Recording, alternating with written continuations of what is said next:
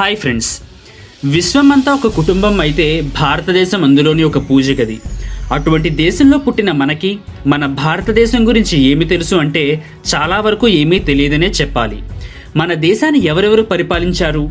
పాత రాతియుగం కొత్త రాతియుగం మొదటి మరియు రెండవ నాగరికత మొదట మన దేశాన్ని పరిపాలించిన రాజులు వారి సామ్రాజ్యాలు మధ్యయుగం విజయనగర సామ్రాజ్యం మొఘలుల ఆక్రమణ బ్రిటిష్ వారి రాక దేశ విభజన స్వాతంత్ర్యం. ఇలా మనకి ఏమాత్రం మన దేశ చరిత్ర గురించి తెలియదు. నేను ఈ వీడియోలో కొంతవరకు మన దేశ చరిత్రని చెప్పడానికి ప్రయత్నిస్తాను. మన భారతదేశ చరిత్ర ఈ ఒక్క వీడియోలో చెప్పడం అంటే అది అసాధ్యం. సో కొన్ని ఎపిసోడ్స్ రూపంలో మొత్తం మన దేశ చరిత్రను చెప్పడానికి ప్రయత్నిస్తాను. మనం చరిత్రలోకి వెళితే భారతదేశ చరిత్రను అరవై నాలుగు భాగాలుగా విభజించవచ్చు.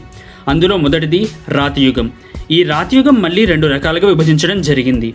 అవే పాత రాతియుగం కొత్త రాతియుగం. వీటినే స్టోన్ ఏజెస్ అని కూడా పిలుస్తారు.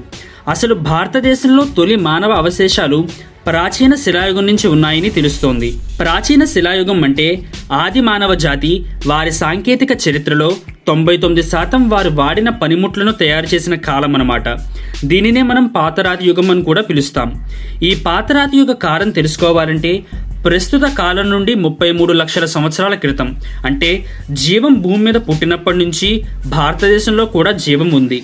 దానికి సాక్ష్యం నర్మదా నదీ తీర ప్రాంతం. అవును ఇది మన తెలుగు రాష్ట్రాల్లో ఒకటైన తెలంగాణలోని ఉమ్మడి మెదక్ జిల్లాకు సంబంధించిన హత్నోరా అనే ప్రాంతం. ఈ ప్రాంతంలో హుమినీనీల అవశేషాలను గుర్తించారు. ఈ జీవులు మానవ పరిణామ క్రమంలో ఒక జాతి భాగం. ఇవి చూడడానికి గొరిల్లాల్లా ఉంటాయి కానీ అవి మానవ జాతిలోని ఒక భాగం. సో వాటి అవశేషాలు దొరకడం వల్ల జీవన్ తాలూకా ఆనవాళ్ళు పాతరాతి యుగం నుండే మన దేశంలో ఉండడం అనేది తెలుస్తోంది. తెలంగాణలో దొరికిన హోమినిని శిలాజాలు దక్షిణ ఆసియాలోనే లభించిన తొలి మానవ అవశేషాలట. అంతేకాకుండా మధ్యప్రదేశ్ ఆంధ్రప్రదేశ్లో అనేక శిలాజాల అవశేషాలు దొరికాయి. అంటే పాతరాతి యుగం నుండే భారతదేశంలో మనిషి జాడ ఉంది. ఈ పాతరాతి యుగం అనేది ముప్పై మూడు లక్షల సంవత్సరాల నుండి పదకొండు వేల ఆరు వందల యాభై సంవత్సరాల వరకు విస్తరించి ఉంది. దాని తర్వాతే భారతదేశంలో కొత్త రాతి యుగం ఆరంభమైంది. ఈ కొత్త రాతి యుగ తొలి సంస్కృతి అఖండ భారతదేశంలోని మెహర్గఢ్ అనే ప్రాంతంలో మొదలైంది. ప్రస్తుతం ఈ ప్రాంతం బెలూచిస్తాన్ ప్రాంతంలో ఉంది. క్రీస్తు పూర్వం ఏడు వేల సంవత్సర కాల సమయంలోనే మన పూర్వీకులు అక్కడ నివసించినట్టు మట్టి ఇళ్ళు నిర్మించుకుని పశువుల కాపురులుగాను గొర్రెల కాపురులుగా ఉండేవారని. అదే సమయంలో వీరు బుట్టలు అల్లడం అనేది ప్రారంభించినట్టు తెలుస్తోంది. మన భారతదేశ పూర్వీకులు క్రీస్తుపూర్వం ఐదు వేల ఐదు వందల సంవత్సరం నాటికి కుండలు చేయడం వాటర్ని స్టోర్ చేయడం అలానే రాగి పనిముట్లు వాడకం అనేది అప్పట్లోనే మొదలుపెట్టారు. కానీ వీరి ఉనికి క్రీస్తుపూర్వం రెండు వేలవ సంవత్సరం నాటికి కనుమరుగైపోయింది. దీని తర్వాత మొదలైన యుగమే కంచుయుగం. ఈ కంచుయుగంలోనే మొదటి మానవ నాగరికత మొదలైనట్టు చరిత్రకారులు చెబుతారు. అంటే ప్రపంచం మొత్తం మీద మొట్టమొదటి నగరీకరణ మన పూర్వీకులే చేశారు. అది మన భారతదేశం అంటే. అందుకే భారతదేశాన్ని విశ్వగురు అని అంటారు. ఈ కంచుయుగంలోనే అంటే క్రీస్తుపూర్వం మూడు వేల మూడు వందల సంవత్సరం నుండి క్రీస్తుపూర్వం పదిహేను వందల సంవత్సర కాలంలో మొదటి నగరీకరణ అనేది జరిగింది. అదే ప్రాచీన సింధులోయ నాగరికత. మన భారతదేశ ఉపఖండంలో కంచుయుగం ప్రారంభమైన తొలినాళ్ళలో అంటే క్రీస్తుపూర్వం మూడు వేల మూడు వందల సంవత్సర కాల ప్రాంతంలోనే సింధులోయ నాగరికత మొదలైంది. ఇది సింధు నది దాని ఉపనది ప్రాంతాలలో విస్తరించింది. మనకి అర్థమయ్యేలా చెప్పాలంటే ప్రస్తుత గంగా యమునా నది పరివాహక ప్రాంతం గుజరాత్ ఆఫ్ఘనిస్తాన్ ప్రాంతాల వరకు ఈ నాగరికత విస్తరించి ఉంది. ప్రపంచంలో నాగరికతకు జన్మస్థానంగా మన సింధులోయ నాగరికతను చెప్తారు. ఈ నాగరికత అనేది గుజరాత్ హర్యానా పంజాబ్ రాజస్థాన్ ఉత్తరప్రదేశ్ జమ్మూ కాశ్మీర్ సింధ్ బెలూచిస్తాన్ వరకు ఉంది. ప్రస్తుతం సింధ్ బెలూచిస్తాన్లు పాకిస్తాన్ దేశంలో ఉన్నాయి. ఈ నాగరికతలోని హరప్పను లోహపు పనిముట్లను ఆయుధాలను బొమ్మలను కొత్త కొత్త పద్ధతుల్లో అభివృద్ధి చేశారట. అంతేకాక రాగి కంచు సీసం టిన్ వంటి వాటిని ఉత్పత్తి చేశారు. నిజంగా చెప్పాలి అంటే మన భారతదేశ పూర్వీకుల సింధు నది నాగరికత వల్లనే ప్రపంచంలో మనుషులకు ఎలా బతకాలో ఎలా ఉండాలో తెలిసింది. క్రీస్తుపూర్వం రెండు వేల ఆరు వందల నుండి పంతొమ్మిది వందల సంవత్సరం మధ్యకాలంలోనే భారత ఉపఖండంలో పట్టణ నగరీకరణ కూడా జరిగింది. ఈ నగరీకరణలో భాగంగా ఇటుకలు వాడటం రోడ్స్ వేసుకోవడం వాటర్ ఫెసిలిటీ సిస్టమ్ డ్రైనేజీ వ్యవస్థ అపార్ట్మెంట్స్ అనేవి నిర్మించుకోవడం జరిగింది. అంటే వేరే దేశాలలో మనుషులు చెట్ల కింద నివసించే సమయంలోనే మన భారతదేశ పూర్వీకులు నగరాలనే నిర్మించేశారు. ఇది మన దేశపు ఘన చరిత్ర. అప్పట్లోనే మనకి మున్సిపల్ వ్యవస్థ ఉన్నట్లు కూడా చరిత్రకారులు చెబుతారు. ఈ సింధు నది నాగరికతలో మొత్తం ఒక వెయ్యి ఇరవై రెండు నగరాలు ప్రస్తుతానికి మన అఖండ భారత్లో కనుగొనబడ్డాయి. వాటిలో ఆరు వందల పదహారు నగరాలు ప్రస్తుత భారత్లోను మిగతా నాలుగు వందల ఆరు నగరాలు వేర్పాటు భారత్లోను అంటే పాకిస్తాన్లోనూ ఉన్నాయి. అలా సింధు నది నాగరికత క్రీస్తుపూర్వం పదిహేడు వందల సంవత్సరం వరకు బాగానే జరిగింది. కానీ క్రీస్తుపూర్వం పదిహేడు వందల సంవత్సరం తర్వాత చాలా నగరాలను వదిలివేశారు అప్పటి మన పూర్వీకులు. వీరినే చివరి హరప్పన్ తెగ అని కూడా అంటారు. వీరి తర్వాత సింధు నది నాగరికత హఠాత్తుగా అదృశ్యమైపోయింది. సింధులోయ నాగరికత అదృశ్యం వెనుక కారణం వారు ద్రవిడ భూభాగాలకు వలస వెళ్ళడం అని చరిత్రకారులు చెబుతారు. దీనినే ఆదిమవాసి ద్రావిడుల శకమని చెబుతారు. ఈ ఆదిమవాసి ద్రావిడులు అంటే ప్రస్తుతం ఉన్న దక్షిణ భారతదేశం. సింధు నాగరికులు అక్కడి నుండి సౌత్ ఇండియాకి వలసలు రావడం వల్ల వారి నగరీకరణ ప్రభావం వల్ల ద్రవిడ భాషలు పోయి సింధు భాషలు ద్రవిడ భాషలను భర్తీ చేశారని చెప్తారు చరిత్రకారులు. దీనికి సాక్ష్యం తమిళనాడులో ఉన్న ద్రావిడ సాంకేతిక లిపి పరిశోధనా సంస్థ. అంతేకాక ఈ ఆదిమవాసి ద్రవిడ కాలంలోని ఋగ్వేదం అనే ఒక వేదం రూపుదిద్దుకుందని అది ముందు ద్రవిడ భాషలోనే ఉండేదని చరిత్రకారులు చెబుతారు. దీని తర్వాత సరస్వతి నాగరికత. ఈ నాగరికత సింధు నది నాగరికత కన్నా కొన్ని రెట్లు గొప్పది. సరస్వతి నాగరికతకు సమకాలీన పాశ్చాత్య నాగరికత సుమేరియను మరియు ఈజిప్టు నాగరికత. సుమేరియన్ నాగరికత రికార్డుల్లో మొదటిసారి మేలుహు అనే పదాన్ని వాడారట. ఈ మేలుహు మనకన్నా పెద్ద నాగరికత అని ఆ సుమేరియన్ నాగరికత రికార్డుల్లో వాడారు. ప్రపంచ శాస్త్రవేత్తల అంచనా ప్రకారం మేలుహు అంటే అప్పటి భారతదేశం అని అర్థం. చరిత్రలో మొదటిసారి భారతదేశం గురించి ప్రస్తావించింది ఇక్కడే. ఈ నాగరికత కాలం అంతా ఒకే రాజు పరిపాలనలో ఉండేదని ఇదే మొదటి రాజు పరిపాలించిన రాజ్యమని చాలామంది చెప్తారు. అయితే ఈ సరస్వతి నాగరికతకి కేంద్రం మహింజోదారో. ఈ నాగరికత ప్రస్తుత ముంబై ఢిల్లీ ఇరాన్ మరియు హిమాలయాల పర్వతాల వరకు విస్తరించి ఉంది. అంటే దీన్ని బట్టి చూడండి మన అఖండ భారత్ ఎంత పెద్దదో. ఈ పరిసర ప్రాంతాల్లోనే కొన్ని నగరాలు కనుగొనబడ్డాయి. అవి హరప్ప దొలవీర గన్వేరీవాలా లోధాల్. ఇవి ముఖ్య పట్టణాలు. వీటిలో దాదాపు ఒక్కో పట్టణంలో లక్షా యాభై వేల నుండి రెండు లక్షల వరకు జనాభా ఉండేవారట. అలా ఇప్పటి వరకు అటువంటి రెండు వేల ఐదు వందల నగరాలు కనుగొనబడ్డాయి. ఈ సరస్వతి నాగరికత మరణానికి కారణం సరస్వతి నది మరణమే అని చరిత్రకారులు చాలామంది చెప్తారు. సో ఈ వీడియోలో మొత్తం మనం పాతరాతియుగం నుంచి మొదటి నగరీకరణ వరకు చూసాం నెక్స్ట్ ఎపిసోడ్లో వైదిక నాగరికత నుండి కురు రాజ్యం కోసల మగధ రాజ్యాల గురించి తెలుసుకుందాం. ఆదిమానవ కాలం నుంచే అంటే దాదాపు ముప్పై మూడు లక్షల సంవత్సరాల క్రితమే మనిషి ఎలా బతకాలి ఎలా నివసించాలి ఎలా పని చేయాలో విశ్వమానవాళికి నేర్పిన విశ్వగురువు నా భారత్. ప్రాచీన భారతదేశ చరిత్రలోకి వెళితే సరస్వతి నది మరణం తర్వాత సరస్వతి నాగరికత కనుమరుగైందని మనం చెప్పుకున్నాం. ఈ సరస్వతి నాగరికత అంతమయ్యాక వైదిక నాగరికత అనేది పుట్టుకొచ్చింది. ఈ వైదిక నాగరికత వేదాలతో ముడిపడింది. ఈ వేదాలన్నీ సంస్కృత భాషలోనే ఆ కాలంలోనే రచించడం జరిగిందని చరిత్రకారుల అంచనా. ఈ కాలంలోనే సమాజం నాలుగు వర్ణాలుగా విభజించబడిందని ఇదే వైదిక నాగరికత సమయంలోనే ఇంకొంతమంది సమూహాలుగా ఏర్పడి వారే ఒక సామ్రాజ్యాన్ని సృష్టించుకుని వారి రాజ్యాన్ని వాళ్ళే పరిపాలించుకోవడం మొదలుపెట్టుకున్నారు. ఈ సమయంలోనే భారతావని మీద వివిధ రకాల రాజ్యాలు ఏర్పడ్డాయి. ఈ రాజ్యాలలోని ప్రజలు ఒకరి రాజ్యం మీద ఇంకొకరు యుద్ధాలు చేసుకునేవారు. ఓడిపోయిన రాజ్య ప్రజలు గెలిచిన రాజ్యంలో విలీనం అయిపోయేవారు. అలా చిన్న చిన్న రాజ్యాలు పెద్ద పెద్ద రాజ్యాలుగా మారాయి. చరిత్రకారుల కథనాల ప్రకారం ఈ కాలంలోనే వేదాలు నాలుగు భాగాలుగా విభజించినట్టు చెబుతారు. అంతేకాక రామాయణ మహాభారతాలు కూడా ఈ వైదిక నాగరికతలోని భాగాలని చరిత్రకారుల అంచనా. ఈ వైదిక నాగరికతే సనాతన ధర్మమని ప్రపంచం మొత్తం సనాతన ధర్మాన్ని పాటించారని వైదిక నాగరికత ద్వారా తెలుస్తోంది. ఈ కాలంలోనే వేద సంస్కృతి రావి చెట్టును పూజించడం ఆవులను పూజించడం వంటివి జరిగాయని. ఇదంతా ఎగువ గంగానదీ తీర ప్రాంతంలో ఆరంభమైందని చెప్తారు. దీనికి ఆధారం ఋగ్వేదం. ఈ ఋగ్వేదంలో వైదిక నాగరికత వేద సమాజం గురించి చెప్పడం జరిగింది. తరువాత వాయువ్య గంగానదీ తీర ప్రాంతం నుంచి పశ్చిమ గంగానదీ తీర ప్రాంతం వరకు ఈ నాగరికత వ్యాపించింది. ఈ సమయంలోనే రకరకాల కులవృత్తులు ప్రజల చేత ఎంచుకోబడ్డాయి. ఈ వైదిక నాగరికతలోని మొట్టమొదటి రాజ్యంగా కురురాజ్యం సామ్రాజ్య స్థాపన చేయడం జరిగింది. ఈ కురురాజ్యమే వేదకాలం నాటి మొదటి రాజ్యం. వేదకాల సమాజం తర్వాత భారతదేశంలో జనపదాలు ఏర్పడ్డాయి. జనపదాలు అంటే రాచరిక రాష్ట్ర స్థాయి విధానాలు అన్నమాట ఈ జనపదాల కాలంలోనే అంటే క్రీస్తుపూర్వం పన్నెండు వందల సంవత్సరం నుండి క్రీస్తుపూర్వం ఆరవ శతాబ్దం వరకు భారత ఉపఖండంలో అనేక రాజ్యాలు ఏర్పడ్డాయి. ముఖ్యంగా వేదకాల సమాజం నాటి కురు రాజ్యం కొన్ని చిన్న చిన్న రాజ్యాలతో కలిసి కురు పాంచాల కోసల విదేహ అను నాలుగు రాజ్యాలుగా ఏర్పడడం జరిగింది. మనం భారతదేశ చరిత్రలో కురు రాజ్యం గురించి ప్రత్యేకంగా చెప్పనవసరం లేదు. దాదాపు అందరికీ మహాభారతం గురించి తెలుసు కాబట్టి ఈ వీడియోలో కురు రాజ్యం గురించి డెప్త్గా చెప్పడం లేదు. భారతదేశ చరిత్రలో వేదకాల సమాజం మరియు జనపదాల తర్వాత నడిచిన కాలం మహాజనపదాలు. క్రీస్తుపూర్వం ఆరు వందల సంవత్సరం నాటికి భారతావనిలోని గంగానది పరివాహక ప్రాంతం మరియు సింధు నది పరివాహక ప్రాంతంలో పదహారు రాజ్యాలు రాజ్యాలుగా విస్తరించబడ్డాయి. ఈ పదహారు రాజ్యాలనే మహాజనపదాలు అని అంటారు. ఈ పదహారు జనపదాలలో ముఖ్యమైన సామ్రాజ్యాలు కురు సామ్రాజ్యం కోసల రాజ్యం మగధ రాజ్యం గాంధార రాజ్యం. ఈ మహాజనపదాల కాలంలోనే ఉపనిషత్తులు అనేవి విశ్వమానవాళికి అందుబాటులోకి వచ్చాయని ఆ కాలంలోనే రచింపబడ్డాయని సాక్ష్యాలున్నాయి.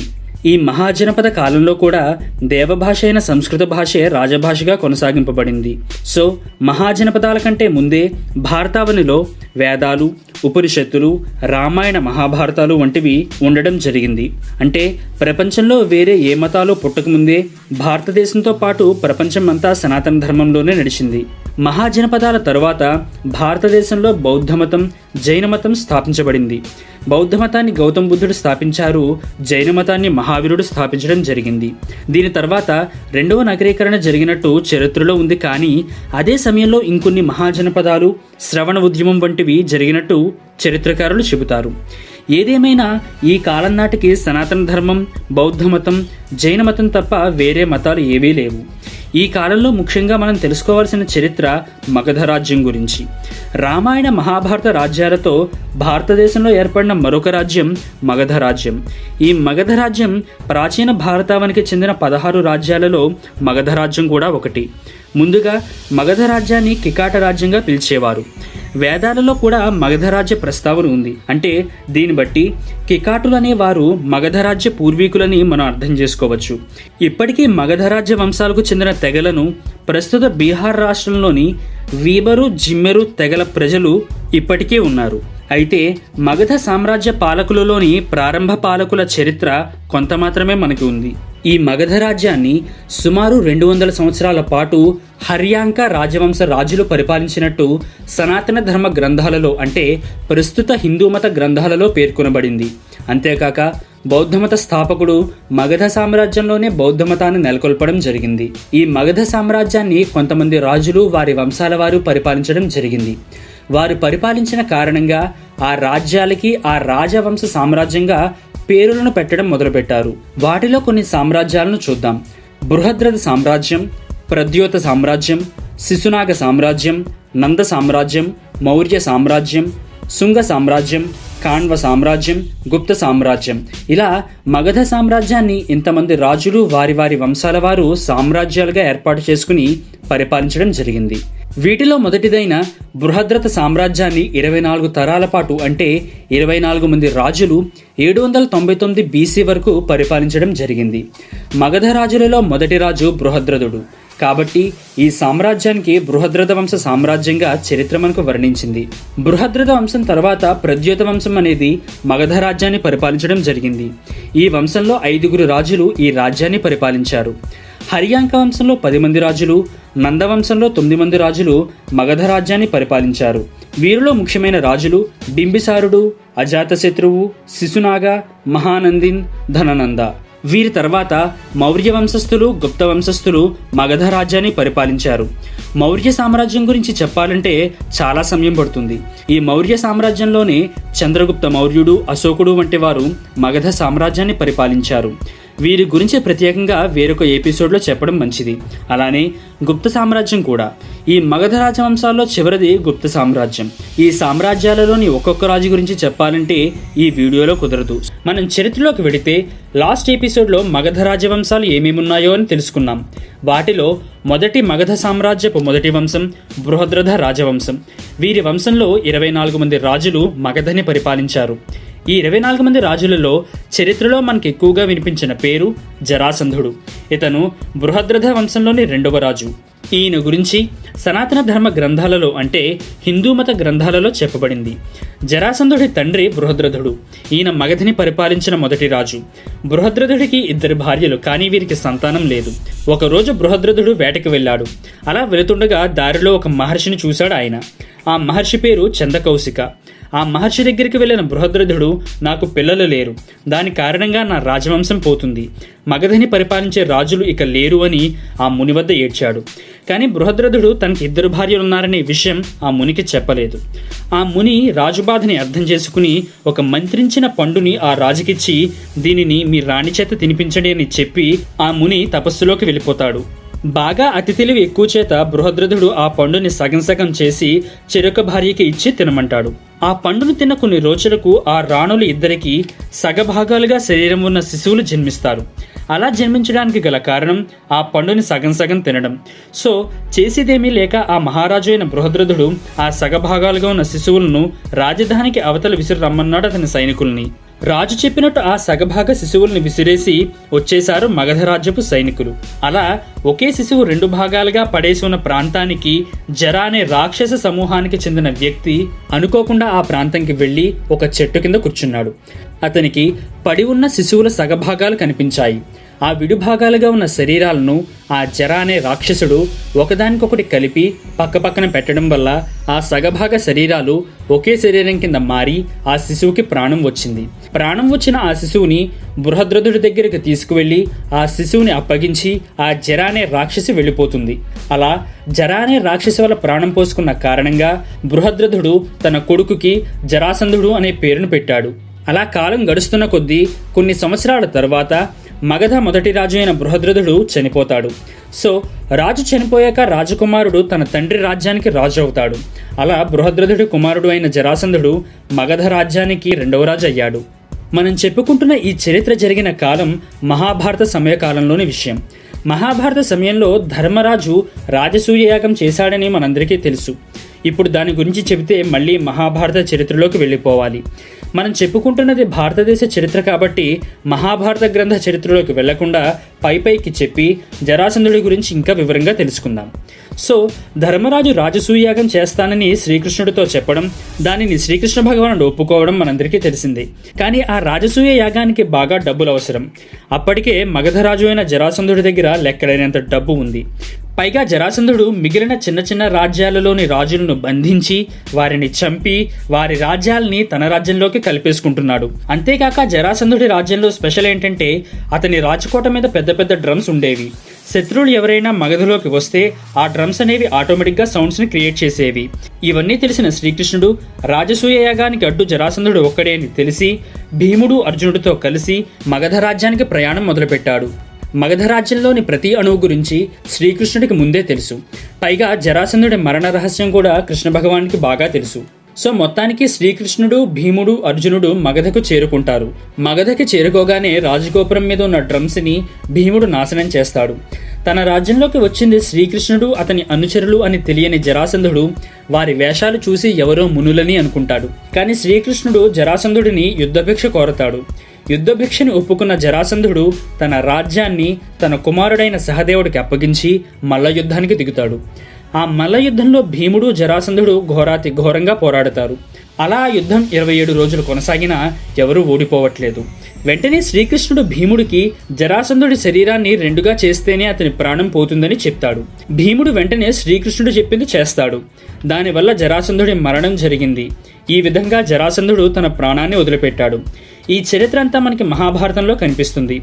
మగధ సామ్రాజ్యాన్ని బృహద్రథుడు జరాసంధుడు సహదేవుడి తర్వాత ఇరవై ఒక్క మంది బృహద్రథ రాజవంశ రాజులు పరిపాలించారు. ఆ రాజుల గురించి మనకి ఎటువంటి సమాచారం లేదు కేవలం వారి పేర్లు తప్ప. ఆ రాజుల పేర్లు వారి పరిపాలించిన కాలాన్ని మీరు వీడియోలో చూడొచ్చు. మగధ రాజ్యంలోని బృహద్రథ రాజవంశం తరువాత మగధని పరిపాలించిన మరొక రాజవంశం ప్రద్యోత వంశం. ప్రద్యోత వంశపు మొదటి రాజు ప్రద్యోతుడు. సో ఈయన పేరు మీదనే ఈ వంశానికి ప్రద్యోత వంశం అనే పేరు వచ్చింది. ఈ ప్రద్యోతుడు మగధని పరిపాలించే సమయంలో ప్రస్తుత మధ్యప్రదేశ్ రాష్ట్రంలోని అవంతి అనే ప్రదేశాన్ని కూడా పరిపాలించాడు. ఈ ప్రద్యోతుడు గౌతమ బుద్ధుడు మరియు బింబిసారుని సమకాలీనుడు అని చరిత్రలో సాక్ష్యాలున్నాయి. ఈ ప్రద్యోతుడి గురించి వీరి సామ్రాజ్యం గురించి ప్రస్తుత బంగ్లాదేశ్ దేశంలోని ఢాకా యూనివర్సిటీలో దాచి ఉంచిన బ్రహ్మాండ పురాణంలో క్లియర్గా ఉంటుంది. ఈ ప్రద్యుత మహారాజు మగధను అవంతిని ఇరవై మూడు సంవత్సరాల పాటు పరిపాలించాడు. ప్రద్యుతిని కొడుకైన పాలక మగధను ఇరవై ఐదు సంవత్సరాలు అలానే పాలక కొడుకైన విశాఖ్యూప అనే రాజు యాభై సంవత్సరాలు మగధ రాజ్యాన్ని పరిపాలించారు. విశాఖ్యూప కొడుకైన ఆర్యక అనే రాజు ఇరవై ఒక్క సంవత్సరాలు ఆర్యక రాజు కొడుకైన నందివర్ధన రాజు మగధని ఇరవై సంవత్సరాల పాటు పరిపాలించారని చరిత్ర మనకి చెబుతోంది. ప్రద్యోత వంశంలో చివరి రాజు నందివర్ధనుడు. ఈయన శిశునాగ అనే మరొక రాజవంశరాజు చేతిలో ఓడిపోవడం వల్ల మగధ మరియు అవంతి రాజ్యాలు శిశునాగరాజు ఆధీనంలోకి వెళ్ళిపోయిందని చరిత్ర చెబుతోంది. ఈ శిశునాగ రాజవంశం హరియాంక రాజవంశంలో దాదాపు పది మంది రాజులు మగధ రాజ్యాన్ని పరిపాలించారు. వారిలో బింబిసారుడు అజాతశత్రువు శిశునాగ మహానందిన్ రాజులు చాలా ప్రముఖులు. మీకు ఈ చరిత్ర ఉంటున్నప్పుడు ఒక డౌట్ రావచ్చు. మగధ రాజ్యాన్ని ఇంతమంది రాజవంశాలు పరిపాలించాయి కదా. ఎక్కడో మూడవ వంశం రాజు అయిన బింబిసారుడు మగధని పరిపాలించిన రెండవ వంశపు రాజు అయిన ప్రద్యోతరాజుకి సమకాలీనుడు కదా. మరి ఇతను మూడవ వంశపు రాజు ఎలా అవుతాడని? మీరు గుర్తుపెట్టుకోవాల్సింది ఏంటంటే మగధ రాజ్యం అనేది అనేక రాజ్యాల సమూహం. ఒక్కో రాజవంశం కొన్ని కొన్ని రాజ్యాలను జయించి పెద్ద రాజ్యాలుగా ఏర్పరచుకున్నాయి. ఈ చిన్న రాజ్యాలని మగధ రాజ్యమని అంటారు. ఆ పెద్దగా ఏర్పరచుకున్న రాజ్యాలను కూడా మగధ రాజ్యమని అంటారు. సో నెక్స్ట్ ఎపిసోడ్లో హరియాంక మరియు శిశునాగ రాజవంశాలు వారి రాజులు వాటి రాజ్యాలు ఇలా మనకి తెలియని చరిత్రను నెక్స్ట్ వీడియోలో తెలుసుకుందాం. చరిత్రలోకి వెళితే మగధను పరిపాలించిన బృహద్రథ రాజవంశం ప్రద్యోత రాజవంశం తర్వాత హర్యాంక రాజవంశీయులు మగధ రాజ్యాన్ని పరిపాలించారు. వారిలో బింబిసారుడు మరియు అజాతశత్రువు అను రాజులు చాలా ముఖ్యమైన వారు బింబిసారుని తండ్రి పేరు భట్టియా. భట్టియా కాలంలో అంగరాజ్యం అనే మరొక రాజ్యం ఉండేది. ఒక యుద్ధంలో అంగరాజు చేతిలో భట్టియా ఓడిపోయాడు. భట్టియా తర్వాత బింబిసారుడు ఆ రాజ సింహాసనం మీద కూర్చున్నాడు. అప్పటికి బింబిసారునికి కేవలం పదిహేను సంవత్సరాల వయసు మాత్రమే. మగధ రాజ్యానికి దగ్గరగా అంగరాజ్యం ఉందని చెప్పుకున్నాం. అంగరాజ్యాన్ని కూడా మగధలో కలిపేసుకోవాలనే ఆలోచనతో బింబిసారుడు అంగరాజ్యానికి మీరు లొంగిపోండి లేకపోతే యుద్ధం చేయండి అని అంగరాజుకు ఒక లేఖని పంపాడు. ఆ అంగరాజు లొంగిపోవడం మా రక్తంలోనే లేదు. మా ఆఖరి రక్తపు చుక్క వరకు మా నేల కోసం మా రాజ్యం కోసం పోరాడతాం. యుద్ధానికి సిద్ధం కండి అని బింబిసారుడికి ధీటైన లేఖను రాశాడు అంగరాజు. అసలు ఈ యుద్ధానికి కారణం చంపానది. అంగరాజ్యం ప్రస్తుత బీహార్ రాష్ట్రంలోని భగత్పూర్ మోన్గిర్ జిల్లాలలో ఉండేది. వీరి రాజధాని చంపా. ఈ చంపా నది మగధకి మరియు అంగరాజ్యానికి నేచురల్ బార్డర్ లాగా ఉండేది. సో వేరే రాజ్యాల వారు వారి వర్తక వ్యాపారాల గురించి ఈ చంపానిధిలో ఓడల మీద తిరిగేవారు. అలా వారు తిరిగేటప్పుడు ఆ వర్తకుల నుండి ట్యాక్స్ని కట్టించుకునేవాడు బింబిసారుడు. చంపానది మగధకి అంగరాజ్యానికి కూడా బోర్డర్ కావడం వల్ల అంగరాజు కూడా ట్యాక్స్ని కట్టించుకునేవాడు. ఇలా వర్తకులు రెండు ట్యాక్సులు కట్టడం వారికి బాగా ఇబ్బంది అయ్యేది. సో ఇక చేసేదేమి లేక వ్యాపారులు బింబిసారుని దగ్గరికి వచ్చి వారి ఇబ్బందిని చెప్పారు. వ్యాపారులు కేవలం అంగరాజును కాకుండా బింబిసారుని వద్దకే రావడానికి గల కారణం బింబిసారుని సైన్యం. ఆ సమయంలోనే బింబిసారుడు తన సైన్యాన్ని సిద్ధం చేసుకున్నాడు. అదేంటి? ప్రతి రాజ్యానికి సైన్యం ఉంటుంది కదా అని మీరు అనుకోవచ్చు. అది నిజం. కానీ అప్పటి రాజ్యాలు కేవలం యుద్ధ సమయంలోనే అప్పటికప్పుడు సైన్యాన్ని తయారు చేసుకునేవారు. కానీ బింబిసారుడు మాత్రం యుద్ధం ఉన్నా లేకున్నా ఎల్లప్పుడూ సైన్యాన్ని సిద్ధంగా ఉంచేవాడు. దీనినే స్టాండింగ్ ఆర్మీ అని అంటారు. వేదకాల సమాజం మరియు మహాజనపదాలలో ఫస్ట్ టైం స్టాండింగ్ ఆర్మీని ప్రవేశపెట్టింది కేవలం బింబిసారుడు మాత్రమే. సో ఆ కారణం చేత బింబిసారుని సేనియాన్ కూడా పిలిచేవారు. దీనివల్ల వ్యాపారులు బింబిసారుని వద్దకు వచ్చారు. వ్యాపారుల ఫిర్యాదు వల్లే కాకుండా బింబిసారుడు అంగరాజ్యం మీద చాలా కోపంగా ఉన్నాడు. దానికి కారణం ఇందాక చెప్పుకున్నట్టు బింబిసారుని తండ్రి అయిన భట్టియాని అంగరాజ్యం ఓడించడం. ఇలా రకరకాల కారణాల చేత బింబిసారుడు అంగరాజ్యం మీద యుద్ధం ప్రకటించాడు. యుద్ధం చేయడానికి అంగరాజు అప్పుడే తన సైన్యాన్ని తయారు చేయడం మొదలుపెట్టాడు. కానీ బింబిసారుడికి మాత్రం స్టాండింగ్ ఆర్మీ అనేది ఉంది. వారి పోషణ శిక్షణ మొత్తం బింబిసారుడి మగధరాజ్యం చూసుకునేది. అంతేకాక మగధరాజ్యం మొత్తం అతి భయంకర అరణ్యాల మధ్య ఉండేది. అక్కడ గుర్రాలు రథాలు వెళ్ళడానికి వీలుండేది కాదు. సో బింబిసారుడు మగధరాజ్యంలోని ఏనుగులను యుద్ధంలో వాడేవాడు. So for the first time ఏనుగులను యుద్ధాల్లో వాడిన రాజుగా బింబిసారుడు నిలిచాడు. అంతేకాక తూర్పు భారతదేశం నుండి కొన్ని ఏనుగులను తెప్పించుకుని వాటికి శిక్షణ ఇప్పించాడు. దానివల్ల ఏనుగులు ఎత్తైన కట్టడాలను కూల్చడం యుద్ధ సమయంలో బురదగా ఉన్న ప్రాంతంలో సైనికులను తీసుకువెళ్ళడం బింబిసారునికి చాలా ఈజీ అయిపోయింది. ఇక అంగరాజ్యానికి మగధ రాజ్యానికి భీకర యుద్ధం మొదలైంది. యుద్ధం ఎన్ని రోజులు జరిగిందనేది తెలియదు కానీ అంగరాజ్యపు సైనికులు వీరోచితంగా పోరాడారు. వారి శరీర భాగాలు తెగుతున్నా వారి నేల కోసం యుద్ధం చేశారు. కానీ బింబిసారుని సైనిక బలం ముందు వారు ఓడిపోయారు. అంగరాజ్యం యుద్ధంలో ఓడిపోయింది. బింబిసారుడు అంగరాజ్యాన్ని మగధ రాజ్యంలో కలిపేసుకుని సువిశాల మగధ రాజ్యాన్ని విస్తీర్ణపరిచాడు. అంగరాజ్యాన్ని కలిపేసుకున్నాక మగధ మరింత ఆర్థికంగా బలపడింది. బింబిసారునికి మనకున్న ఇన్ఫర్మేషన్ ప్రకారం ముగ్గురు కుమారులు. వారి పేర్లు కునిక దర్శిక్ మరియు అజాతశత్రు. మగధ రాజ్యం అంగరాజ్యాన్ని కలిపేసుకున్నాక అంగరాజ్యంలోని చంపా పరిసర ప్రాంతాలకు తన కొడుకైన కునికాని గవర్నర్గా నియమించాడు బింబిసారుడు. ఇంకో కొడుకైన దర్శక్ని డిప్యూటీ కింగ్గా నియమించాడు. అప్పట్లోనే మగధని ఎనభై వేల పైచిరుకు గ్రామాలుగా బింబిసారుడు విభజించాడు. ఒక్కో గ్రామానికి ఒక్కో గ్రామ పెద్ద నియమించాడు బింబిసారుడు. వీరిని గ్రామిక అని పిలిచేవారు. అంతేకాక బింబిసారుడు తన రాజ్యంలో ప్రస్తుతం మనకి తీర్పునిచ్చే కోర్టులు ఎలా ఉన్నాయో ఆ కాలంలోనే ఆ కోర్టు లాంటి వాటిని ప్రవేశపెట్టాడు బింబిసారుడు. ప్రధానమంత్రి సైన్యాధ్యక్షుడు. ఇలా అనేక రకాలుగా ఎంతో పటిష్టంగా మగధ రాజ్యాన్ని తయారు చేశాడు బింబిసారుడు. ఇక ఏ రాజ్యం కూడా మగధ మీద యుద్ధం చేయడానికి ఆలోచన లేని విధంగా మగధ రాజ్యాన్ని తీర్చిదిద్దాడు. ఈ బింబిసారుడు ఏ మతాన్ని ఆచరించాడో స్పష్టంగా తెలియదు. కొంతమంది జైన మతాన్ని ఆచరించాడని చెబుతారు మరి కొంతమంది అయితే బౌద్ధ మతాన్ని ఆచరించాడని చెప్తారు. అయితే మనం ఎపిసోడ్ త్రీలో చెప్పుకున్నట్టు ప్రద్యోత రాజవంశం మొదటి రాజు అయిన ప్రద్యోతుడు బింబిసారుడు మరియు గౌతమ్ బుద్ధుడు ఒకే కాలంకి చెందినవారుగా మరియు వారి ఫ్రెండ్స్ అని చెప్పుకున్నాం. అయితే బింబిసారుడు గౌతమ్ బుద్ధుడికి అత్యంత సన్నిహితుడిగా ఉండేవాడు. గౌతమ్ బుద్ధుడికి ఇంకా జ్ఞానం రాకముందే అంటే గౌతముడిగా ఉన్నప్పుడే బింబిసారుడికి గౌతముడికి సాన్నిధ్యం చాలా బాగా ఉండేది. ఆ టైంలో గౌతముడిని చూసిన బింబిసారుడు తన మగధ రాజ్యానికి సేనాధిపతిగా ఉండమని కోరతాడు. కానీ గౌతముడు దాన్ని నిరాకరించి వెళ్ళిపోతాడు. అలా వెళ్ళిన ఏడు సంవత్సరాల తర్వాత అంటే గౌతముడికి తన ముప్పై ఐదవ సంవత్సరంలో బోధగైలోని రావి చెట్టు కింద జ్ఞానోదయాన్ని పొంది గౌతమ బుద్ధుడుగా మారాడు. సో బుద్ధుడు జ్ఞానాన్ని పొందింది బింబిసారుని మగధ రాజ్యంలోనే. బుద్ధుడు తర్వాత ఒకసారి బింబిసారుని వద్దకు వెళ్తాడు. అప్పుడు బింబిసారుడు రాజమర్యాదలు చేసి తనని శిష్యునిగా అంగీకరించమని బుద్ధుడిని కోరుతాడు. దానిని ఒప్పుకున్న బుద్ధుడికి ఒక వెదురు తోటని కానుకగా ఇచ్చాడు బింబిసారుడు. బుద్ధుడికి అన్ని వేళలా సేవ చేయడానికి తన రాజ్య వైద్యులని నియమించాడు. ఇలా బుద్ధుడిని ప్రసన్నం చేసుకున్న బింబిసారుడు యుద్ధాలలో అరివీర భయంకరంగా పోరాడిన బింబిసారుడు మగధని కన్నెత్తు కూడా శత్రురాజ్యాలు చూడలేని విధంగా తీర్చిదిద్దిన బింబిసారుడు మొట్టమొదటి స్టాండింగ్ ఆర్మీని ప్రవేశపెట్టిన బింబిసారుడు అంగరాజ్యాన్ని గెలిచి సువిశాల మగధ రాజ్యాన్ని చేసిన బింబిసారుడు ఇంత అరివీర భయంకరుడు తన సొంత ఇంటి మనుషులతో ఓడిపోయాడు. రచ్చ గెలిచి ఇంట గెలవలేకపోయాడు. బింబిసారుణ్ణి మోసం చేసింది ఎవరు? బింబిసారుడు ఎలా ఓడిపోయాడు? ఎలా మరణించాడు? బుద్ధుడు ఎందుకు ఆపలేకపోయాడు అనే కొన్ని ఇంట్రెస్టింగ్ ఫ్యాక్ట్స్ని మరియు మన దేశ చరిత్రని నెక్స్ట్ ఎపిసోడ్లో చూద్దాం.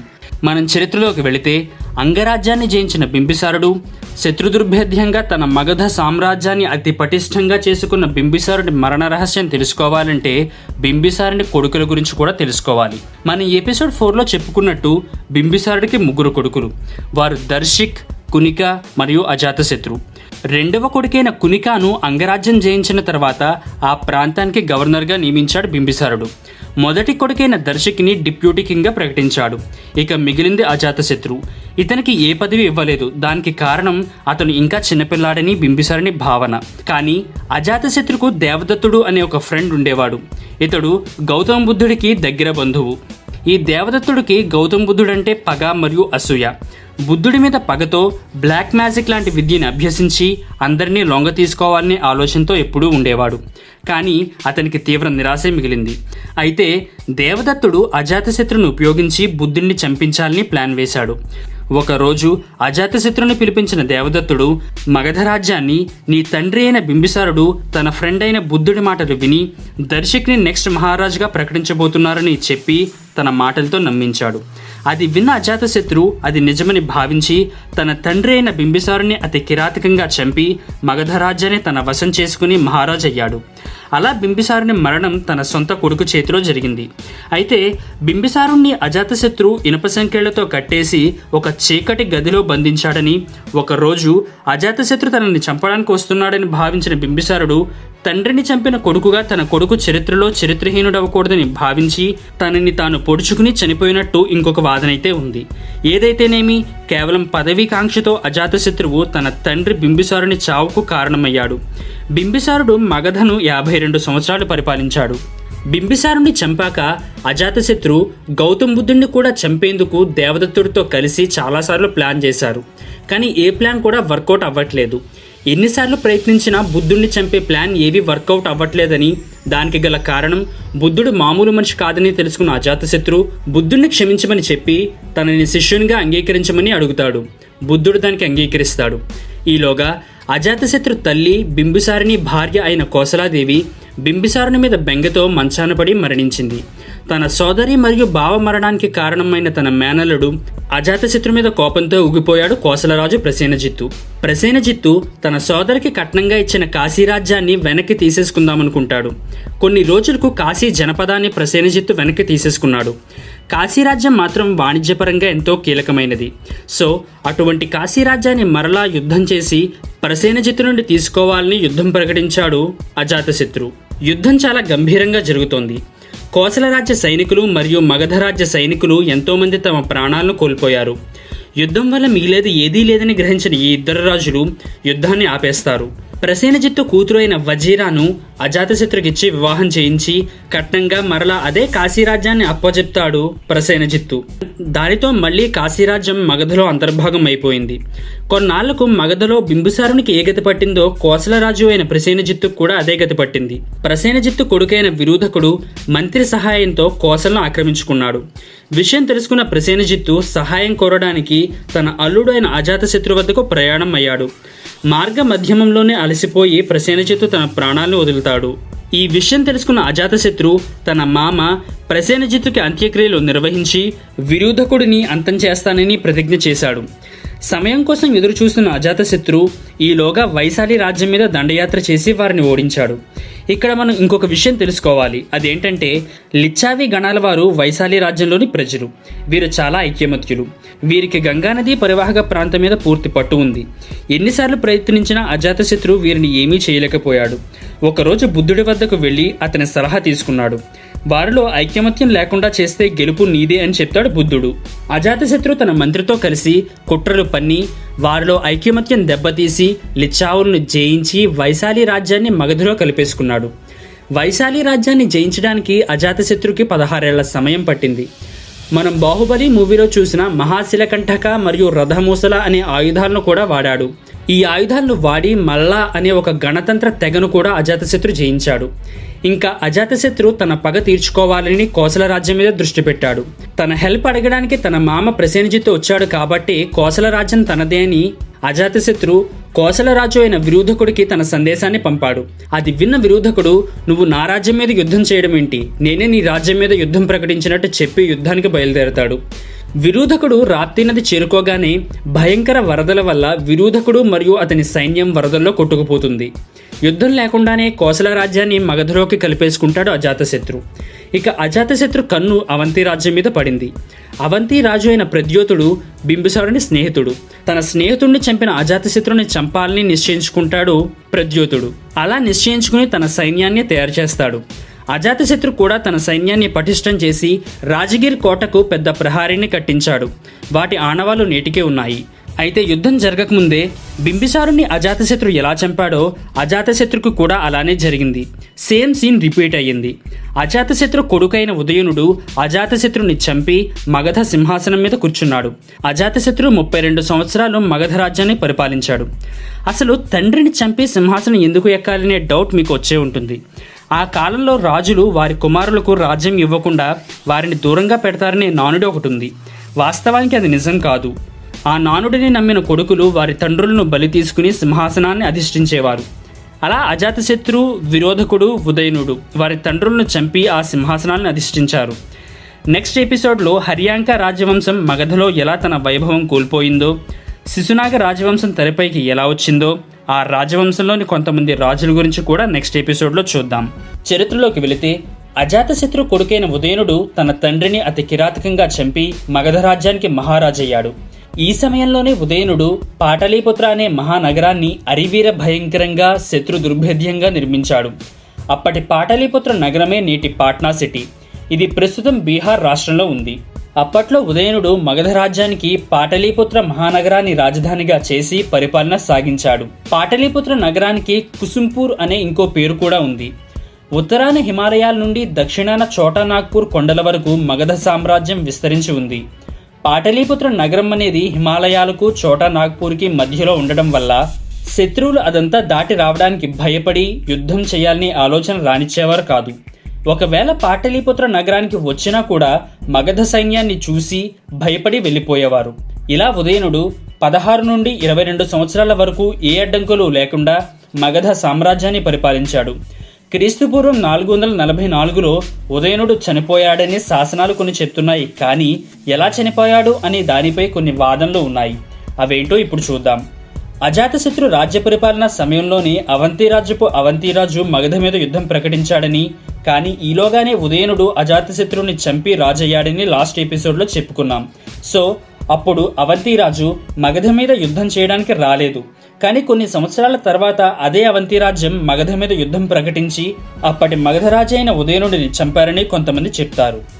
అలానే ఇంకో వాదన ఏంటంటే అజాతశత్రువుని ఇన్స్పిరేషన్గా తీసుకుని ఉదయనుడి కుమారులైన అనిరుధ ముండ నాగదర్శక వీరు తమ తండ్రులను అన్నలను చంపి మగధ రాజ్యాన్ని అధిష్ఠించారని ఆక్రమంలోనే ఉదయనుడిని వారి కొడుకులే చంపి ఉంటారని మెజారిటీ చరిత్రకారుల వాదన.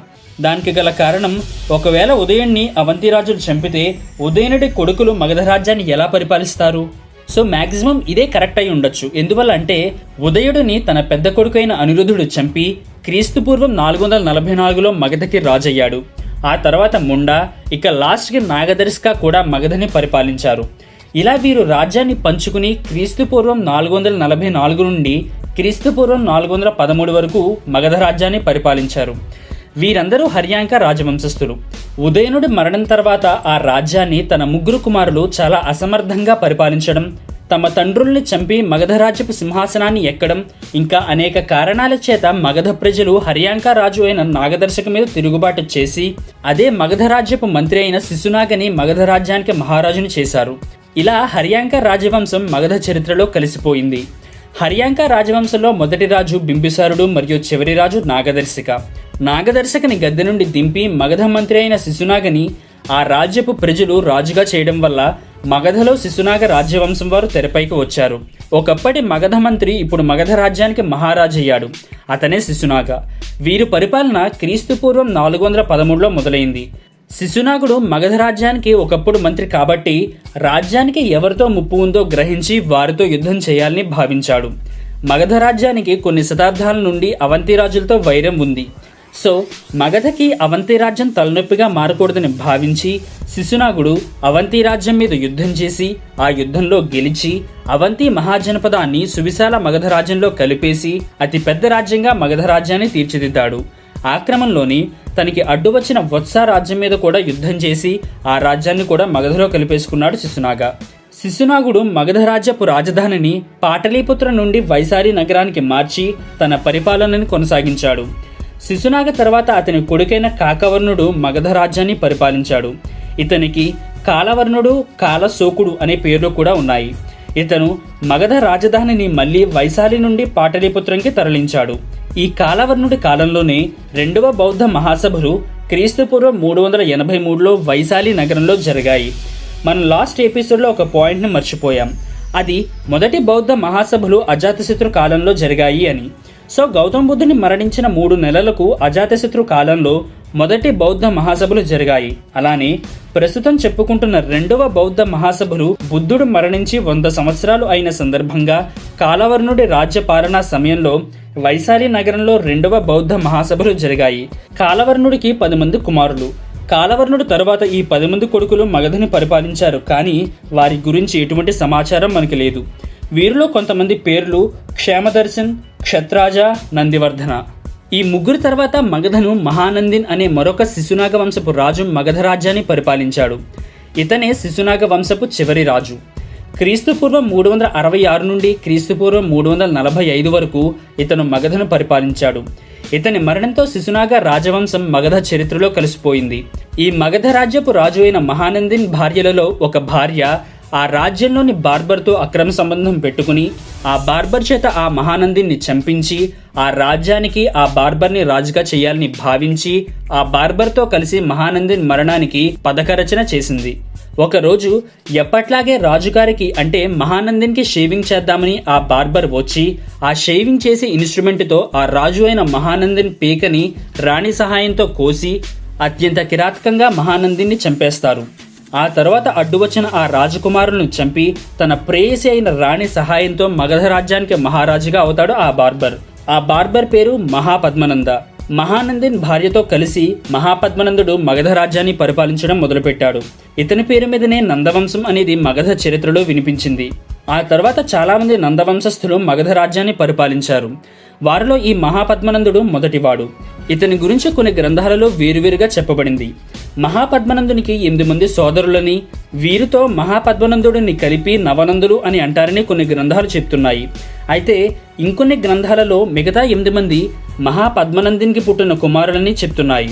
వారి పేర్లు పండూకనంద పంగుపతినంద భూతపాలనంద రాష్ట్రపాలనంద గోవిశంకనంద దశసిద్ధికనంద కైవర్తనంద మరియు ధననంద. మహానందిని చంపి రాజు అయిన మహాపద్మనందుడు అంతటితో ఆగకుండా చుట్టుపక్కల రాజ్యాలలోని రాజులను ఓడించి వారి రాజ్యాల్ని మగధలో కలుపుకుని మగధ రాజ్యాన్ని సువిశాల మగధ సామ్రాజ్యంగా విస్తరింపజేశాడు. అందువల్లనే ఇతనికి ఏక్రాట్ అనే బిరుదుని ఇచ్చారు. అంటే ఏకైక సార్వభౌముడు అని అర్థం. అఖండ భారతదేశంలో మొట్టమొదటి అతిపెద్ద సామ్రాజ్యాన్ని పరిపాలించిన తొలి చక్రవర్తిగా ఇతను చరిత్రలో నిలిచాడు. ఈ మహాపద్మనందుడు తర్వాత ఇతని కుమారులో లేక ఇతని సోదరులో స్పష్టంగా తెలియని ఎనిమిది మంది నందవంశపు రాజులు మగధ సామ్రాజ్యాన్ని పరిపాలించారు. ఈ రాజుల కాలంలోనే అలెగ్జాండర్ ది గ్రేట్ భారత ఉపఖండం మీద దండయాత్ర చేయడం జరిగింది. ఆ మిగిలిన ఎనిమిది మంది రాజుల గురించి అలెగ్జాండర్ గురించి మరియు ఆ అలెగ్జాండర్ని నిలువరించిన భారత వీరుడు అయిన పురుషోత్తముడు గురించి ఎపిసోడ్ సెవెన్లో చూద్దాం. ఈ వీడియోలో చెప్పే చరిత్ర మామూలు చరిత్ర కాదు. విశ్వ విజేతలని విర్రవేగిన అలెగ్జాండర్ చేత మూడు చెరువుల నీళ్ళు తాగించిన యోధుడు వీరుడు భరతజాతి మెచ్చిన సూర్యుడు మహాదేశభక్తుడు అయిన పురుషోత్తముడు గురించి. చరిత్రలోకి వెళితే మగధ రాజ్యాన్ని నందవంశం పరిపాలిస్తున్న సమయం అది. నందవంశపు ఆఖరి రాజైన ధననందుడు పరిపాలిస్తున్న సమయం. అప్పుడు ధననందుడు మగధను పటిష్టం చేసుకునే పనిలో ఉన్నాడు. మనం ధననందుడి చరిత్ర తెలుసుకునే ముందు ఇంకొంత విషయం తెలుసుకోవాలి. ధననందుడి మగధ సామ్రాజ్య సమయంలోనే విశ్వవిజేత అయిన అలెగ్జాండర్ భారతదేశం మీద దండయాత్రకు వచ్చాడు. అయితే ఇక్కడ అలెగ్జాండర్ గురించి మరింత తెలుసుకోవాలి. అలెగ్జాండర్ అనే వ్యక్తి తిరుగులేని వీరుడు. ఎక్కడ యుద్ధం చేసినా గెలుపు అలెగ్జాండర్దే.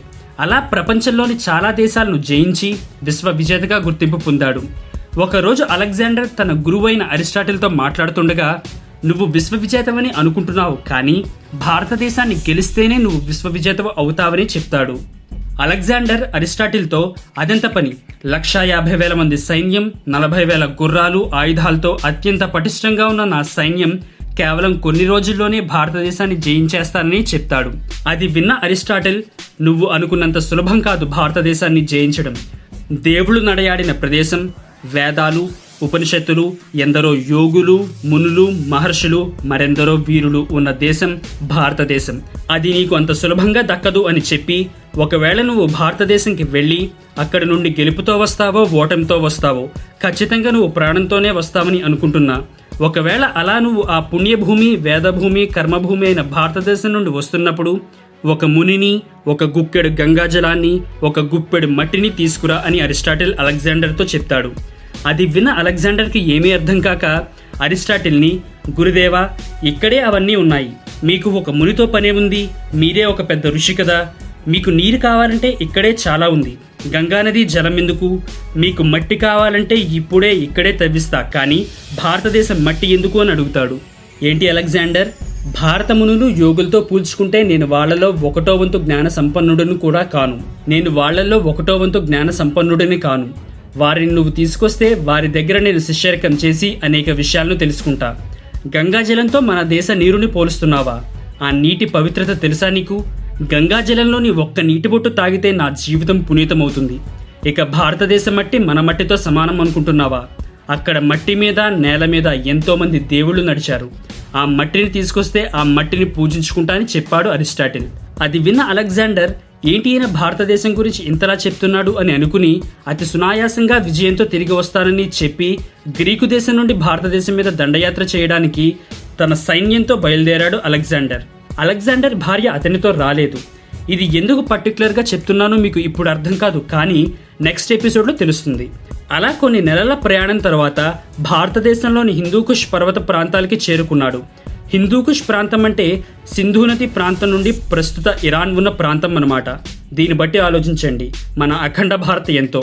ఆ ప్రదేశానికి అలెగ్జాండర్ చేరుకోవడం భారత్కి రావడం మన ప్రకృతికే ఇష్టం లేనట్టుగా విపరీత వర్షం చలిగాలులతో అలెగ్జాండర్ని మరియు వారి సైన్యాన్ని ముప్పు తిప్పులు పెట్టించింది. చాలామంది సైనికులు కేవలం ప్రకృతి వలనే మరణించడం జరిగింది. ఎలాగోలాగా అలెగ్జాండర్ మరియు అతని సైన్యం హిందూకుష్ పర్వత ప్రాంతాన్ని దాటి భారత ప్రజలు నివసించే ప్రదేశానికి వచ్చి అక్కడే వారు కూడా గుడారాలను వేసుకుని ఉన్నారు. అక్కడ ప్రజలకు అలెగ్జాండర్ గురించి తెలిసింది. ఇతనే ప్రపంచ దేశాల్ని జయించిన గ్రీకు రాజు అయిన అలెగ్జాండర్ అని చాలా వీరుడని చెప్పుకుంటూ చెప్పుకుంటూ ఈ విషయం భారతదేశంలోని అనేక రాజ్యాల వరకు చేరింది. ఈ రాజ్యాలలో తొంభై ఐదు శాతం రాజ్యాలు ప్రజాస్వామ్య విధానాలను అనుసరించేవారని తెలుసుకున్న అలెగ్జాండర్ ఆశ్చర్యపోయాడు. అంటే అనాదిగా మన దేశం వైదిక సనాతన ధర్మంతో పాటు ప్రజాస్వామ్యాన్ని కూడా అవలంబించింది. హిందూకుష్ పర్వత ప్రాంతాలలో దగ్గరగా రెండు రాజ్యాలు ఉండేవి అవి తక్షశిలా రాజ్యం ఇంకొకటి పురు రాజ్యం. తక్షశిలా రాజ్యానికి రాజు అంబి మరియు పురి రాజ్యానికి రాజు ద గ్రేట్ పురుషోత్తముడు. వేదకాలం నుండి ఈ పురు రాజ్యం అనేది ఉంది. అంబిరాజుకు పురుషోత్తముడంటే భయం. యుద్ధం చేసిన ప్రతిసారి ఓడిపోయేవాడే అంబిరాజు. అంబిరాజుకు అలెగ్జాండర్ రాక విషయం తెలిసింది. ఆ అంబిరాజు పురుషోత్తముడి మీద పగతో సిగ్గు లేకుండా అలెగ్జాండర్ దగ్గరికి వెళ్ళి శరణు కోరి చిన్న కోరికను కోరతాడు. కింగ్ అలెగ్జాండర్ మీరు అనుమతిస్తే తక్షశిలా రాజ్యానికి సామంతరాజులా ఉంటాను. మీ పాదాల చెంత ఉంటాను. ఇక్కడ పురు అని ఒక రాజ్యం ఉంది మీరు ఆ రాజ్యాన్ని జయించాక ఆ పురు రాజ్యాన్ని కూడా నేనే పరిపాలిస్తాను అని అడుగుతాడు. దానికి అలెగ్జాండర్ శరణు అని నా చెంతకు వచ్చావు. నేను నీకు హామీ ఇస్తున్నాను ఒప్పుకున్నాడు. వెంటనే అలెగ్జాండర్ అంబిరాజుని ఆ పురురాజ్యపు రాజు ఎవరు అని అడగగా అంబి ఆ పేరు చెప్పడానికి భయపడుతూ రాజా పురుషోత్తముడు అని చెప్తాడు. ఆ పురుషోత్తముడు పేరు చెబుతున్నప్పుడు అంబిరాజు భయపడటం అలెగ్జాండర్ గమనిస్తాడు. అంబిరాజా నేను భారతదేశం మొత్తాన్ని జయించడానికి వచ్చాను. నాకు నువ్వు సహాయం చెయ్యి అని అలెగ్జాండర్ అడుగుతాడు. వెంటనే అంబి మీరు హిందూకుష్ పరిసర ప్రాంతాలలో ఉన్న అన్ని రాజ్యాలకి ఒక హెచ్చరిక లేఖని పంపించండి. ఆ లేఖ ఎలా ఉండాలి అంటే ఆ లేఖను చూసే ఆ రాజులు భయపడిపోయి వారి రాజ్యాలను మీకు అప్పజెప్పాలని చెప్పి అలానే ఆ లేఖలను అన్ని రాజ్యాలకి పంపిస్తాడు అంబిరాజు. ఏ రాజ్యం దగ్గర నుండి రిప్లై రాలేదు. ఇంతకీ ఆ లేఖలో ఏముందంటే భారతదేశ రాజులారా నన్ను అలెగ్జాండర్ ది గ్రేట్ అని అంటారు. నేను విశ్వవిజేతని గ్రీకు రాజుని అతి క్రూరుడని. ఇప్పుడు భారతదేశాన్ని జయించడానికి వచ్చాను. యుద్ధం చేయకుండా మీ రాజ్యం నాకు అప్పగించి సామంతరాజులాగా ఉంటారో యుద్ధం చేసి చనిపోతారో మీ ఇష్టం అని ఆ లేఖలో ఉంది. కొన్ని రోజులకు ఒక సైనికుడు ఒక రిప్లై ఇచ్చిన లేఖని అలెగ్జాండర్ దగ్గరికి తీసుకొచ్చాడు. ఎవరి నుంచి ఈ సమాధానం అని అడగగా పురురాజు అయిన పురుషోత్తముడు నుంచి ప్రభు అని ఆ సైనికుడు చెప్తాడు. ఏంటి? ఈ రాజు గురించా అంబి భయపడింది. ఒక్క లేఖతో భయపడి సంధికి సిద్ధమయ్యాడా అని అలెగ్జాండర్ నవ్వుతుండగా ఆ సైనికుడు ప్రభు ఇది సంధి లేఖ కాదు సమరలేఖ అని బదులిచ్చాడు. ఆ లేఖలో ఇలా ఉంది. విశ్వవిజేత అని తిరుగుతున్న ఓ అలెగ్జాండర్ నీకు భయపడి నా రాజ్యాన్ని అప్పజెప్పాలా? నా రాజ్యాన్ని నీ పాదాల చెంత ఉంచాలా? ఇది భారతదేశం. ఇక్కడ అందరూ అంబిరాజులా పిరికిపంతులు ఉండరు. అందరూ వీరులే ఉంటారు. నేను రాజుని. యుద్ధం చేసి నా ప్రాణాలను యుద్ధభూమిలోనే విడుస్తా కానీ నీ బెదిరింపులకి కాదు. యుద్ధం చేయాలని బాగా ఆశపడుతున్నట్టున్నావు కదా? రా. నా భూమి కోసం నా దేశం కోసం నేను యుద్ధం చేస్తాను. తేల్చుకుందాం. యుద్ధానికి నేను సిద్ధం ఇట్లు పురుషోత్తముడు అని ఆ సైనికుడు ఆ లేఖను చదువుతాడు.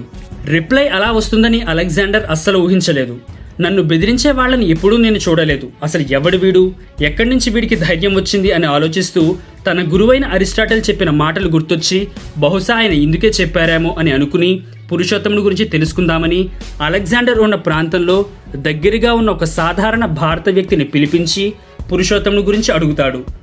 అప్పటిదాకా అలెగ్జాండర్ని చూసి భయపడిపోతున్న ఆ వ్యక్తి ఒక్కసారిగా పురుషోత్తముడి పేరు విన్న తర్వాత ఎంతో ధైర్యంతో నిలబడి పురురాజ్యపు రాజు పురుషోత్తముడు ఋగ్వేదంలో చెప్పబడిన పురురాజ్య వంశస్థుడు. ఏడు పాయింట్ రెండు అడుగుల ఎత్తు బలిష్టమైన దేహం శత్రువులకి సింహస్వప్నం విపరీతమైన దేశభక్తుడు అని ఆ పౌరుడు ఎంతో ధైర్యంతో చెప్పి అక్కడి నుంచి వెళ్ళిపోయాడు. నా దగ్గరికి భయంతో వణుకుతూ వచ్చిన వ్యక్తి ఒక్కసారిగా పురుషోత్తముడి పేరు వినగానే అంత ధైర్యం అతనికి ఎక్కడి నుంచి వచ్చింది? అంత యోధుడా పురుషోత్తముడు అని అలెగ్జాండర్ అనుకున్నాడు. ఇవన్నీ నేనేదో మీకు చెప్తున్నది కాదు. గ్రీకు చరిత్రలో అలెగ్జాండర్ మరియు పురుషోత్తముడు యుద్ధం గురించి ఇవన్నీ వారు రాసుకున్నవే. అక్కడ పురుషోత్తముడిని పోరస్ అని అంటారు. సో అలా అలెగ్జాండర్ ఆలోచనలో పడ్డాడు. ఇటువంటి వీరుడు కేవలం భారతదేశానికి బార్డర్లోనే ఉంటే ఇంకా దేశమంతటా ఎంతమంది వీరులుంటారో అని అనుకున్నాడు అలెగ్జాండర్. అరిస్టాటిల్ చెప్తే నవ్వాను కానీ ఇప్పుడు అదే నిజమని తెలుసుకున్నాను అని అనుకుని తన సేనాధిపతితో ఇన్నాళ్ళకు నాలాంటి వీరుడని ఇంకొకరిని చూశాను. నన్ను బెదిరించే లేఖను రాసి యుద్ధానికి సిద్ధమని రిప్లై పంపించాడు అంటే అతను మామూలు వీరుడు కాదు. అంబిరాజా నువ్వు నాకు భయపడి నా చెంతకు చేరలేదు. పురుషోత్తముడి మీద భయంతో నిన్ను నువ్వు రక్షించుకోవడానికి నా చెంతకు చేరావని చెప్తాడు అలెగ్జాండర్. అంతేకాక అంబిరాజా ఎక్కడి నుండి యుద్ధం మొదలు పెడదాం అని అలెగ్జాండర్ అడుగుతాడు. చరిత్రలోకి వెళితే అలెగ్జాండర్ భారతదేశ రాక అంబిరాజు భయం అలెగ్జాండర్ మరియు పురుషోత్తముడి లేఖలు యుద్ధ సన్నాహాలు లాస్ట్ ఎపిసోడ్లో చూశాం. లాస్ట్ ఎపిసోడ్లో చెప్పుకున్నట్టు భారతదేశ సరిహద్దుల్లోనే ఇలాంటి వీరుడు ఉంటే భారతదేశం అంతటా ఇంకెంతమంది ఉంటారనే ఆలోచనలో పడ్డ అలెగ్జాండర్ అంబిరాజుతో మన దండయాత్ర ఎలా ప్రారంభించాలి? అని అడుగుతాడు. దానికి అంబిరాజు ప్రభు మనం ముందు మన సైన్యానికి నమ్మకం ఇవ్వాలి. మనం యుద్ధం గెలవగలమని అందుకు ముందుగా మనం ఎక్కడైతే నించున్నామో ఈ ప్రాంతం నుంచే అంటే హిందూకుష్ పర్వత ప్రాంతాలలో వందల సంఖ్యలో ఉన్న చిన్న చిన్న రాజ్యాలను మనం ఓడించి ఈ ప్రాంతాన్ని మనం గుప్పెట్లో పెట్టుకుందామని దాని ద్వారా మన సైనికులకు కూడా ఒక నమ్మకం వస్తుందని చెప్పాడు. చెప్పిన వెంటనే అలెగ్జాండర్ మరియు అతని భయంకరమైన సైన్యం ఆ చిన్న రాజ్యాల మీద యుద్ధం చేసి ఆ రాజ్యాలను దక్కించుకుంటారు. అలా ఆ వంద రాజ్యాలను జయించిన వెంటనే అలెగ్జాండర్ అంబిరాజా పద మనం పురుషోత్తముడి పురురాజ్యం మీద యుద్ధం చేద్దామని అంటాడు. వెంటనే అంబిరాజు ప్రభు ఆ యుద్ధానికి ఇంకా సమయం ఉంది. మనం పురుషోత్తముడిని భయపెట్టాలి అంటే ముందు ఒక రాజ్యాన్ని జయించాలి. అదే అశ్వసేనుని రాజ్యం. కానీ ఆ రాజ్యానికి ప్రకృతే కాపులాగా ఉంది.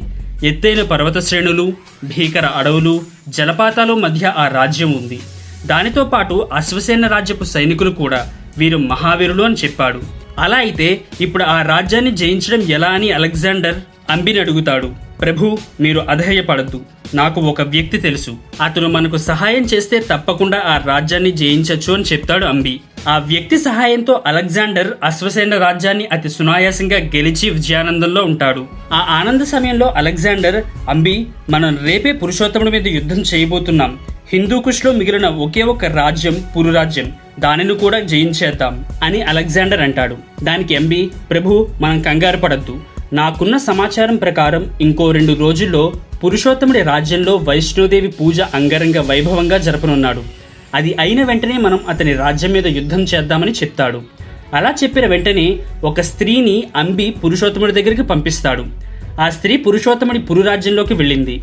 పురుషోత్తముడు వైష్ణోదేవి పూజ చేస్తున్న సమయంలో ఆ రాజ్యపు సైనికుడు వచ్చి ప్రభు మీ గురించి ఎవరో వచ్చారు అని చెప్తాడు. పురుషోత్తముడు ఆ స్త్రీని కలుస్తాడు. కలిసిన రెండు రోజుల తర్వాత హిందూకుష్ ప్రాంతంలో ఉన్న వితస్టా నది దగ్గరికి అంటే ప్రస్తుతం జీలం నది పరిసర ప్రాంతంకి ఇటువైపు గుర్రాల మీద అలెగ్జాండర్ సైన్యం అటువైపు ఏనుగుల మీద పురుషోత్తముడి సైన్యం సిద్ధంగా ఉన్నారు. అలెగ్జాండర్ సైన్యం నది దాటకుండా నదీ ప్రాంతానికి పైన వైపుగా తన సైన్యం అంతటినీ తీసుకెళ్తున్నాడు. అది చూసిన మన పురుషోత్తముడు అలెగ్జాండర్ ఎగువ వైపు నుండి ఆ నది దాటి మన మీద యుద్ధం చేస్తాడేమో అని అనుకుని తన సైన్యం మొత్తాన్ని పురుషోత్తముడు కూడా ఆ ఎగువ ప్రాంతానికి తీసుకెళ్తున్నాడు. కానీ ఇక్కడ అలెగ్జాండర్ ఎవరికీ కనపడకుండా ఎగువ ప్రాంతంకి వెళుతున్న సైన్యం కన్నా రెట్టింపు సైన్యాన్ని చెట్ల పొదల వెనక దాచి ఉంచాడు. ఎప్పుడైతే పురుషోత్తముడి మొత్తం సైన్యం ఎగువ వైపుకు వెళ్ళడం చూసిన అలెగ్జాండర్ చెట్ల వెనక దాచిన సైన్యం వెంటనే ఆ నదిని అటు నుంచి ఇటు దాటడం మొదలుపెట్టారు. ఈ విషయాన్ని పురుషోత్తముడు అస్సలు ఊహించలేదు. ఒక్కసారిగా ఆశ్చర్యపోయాడు.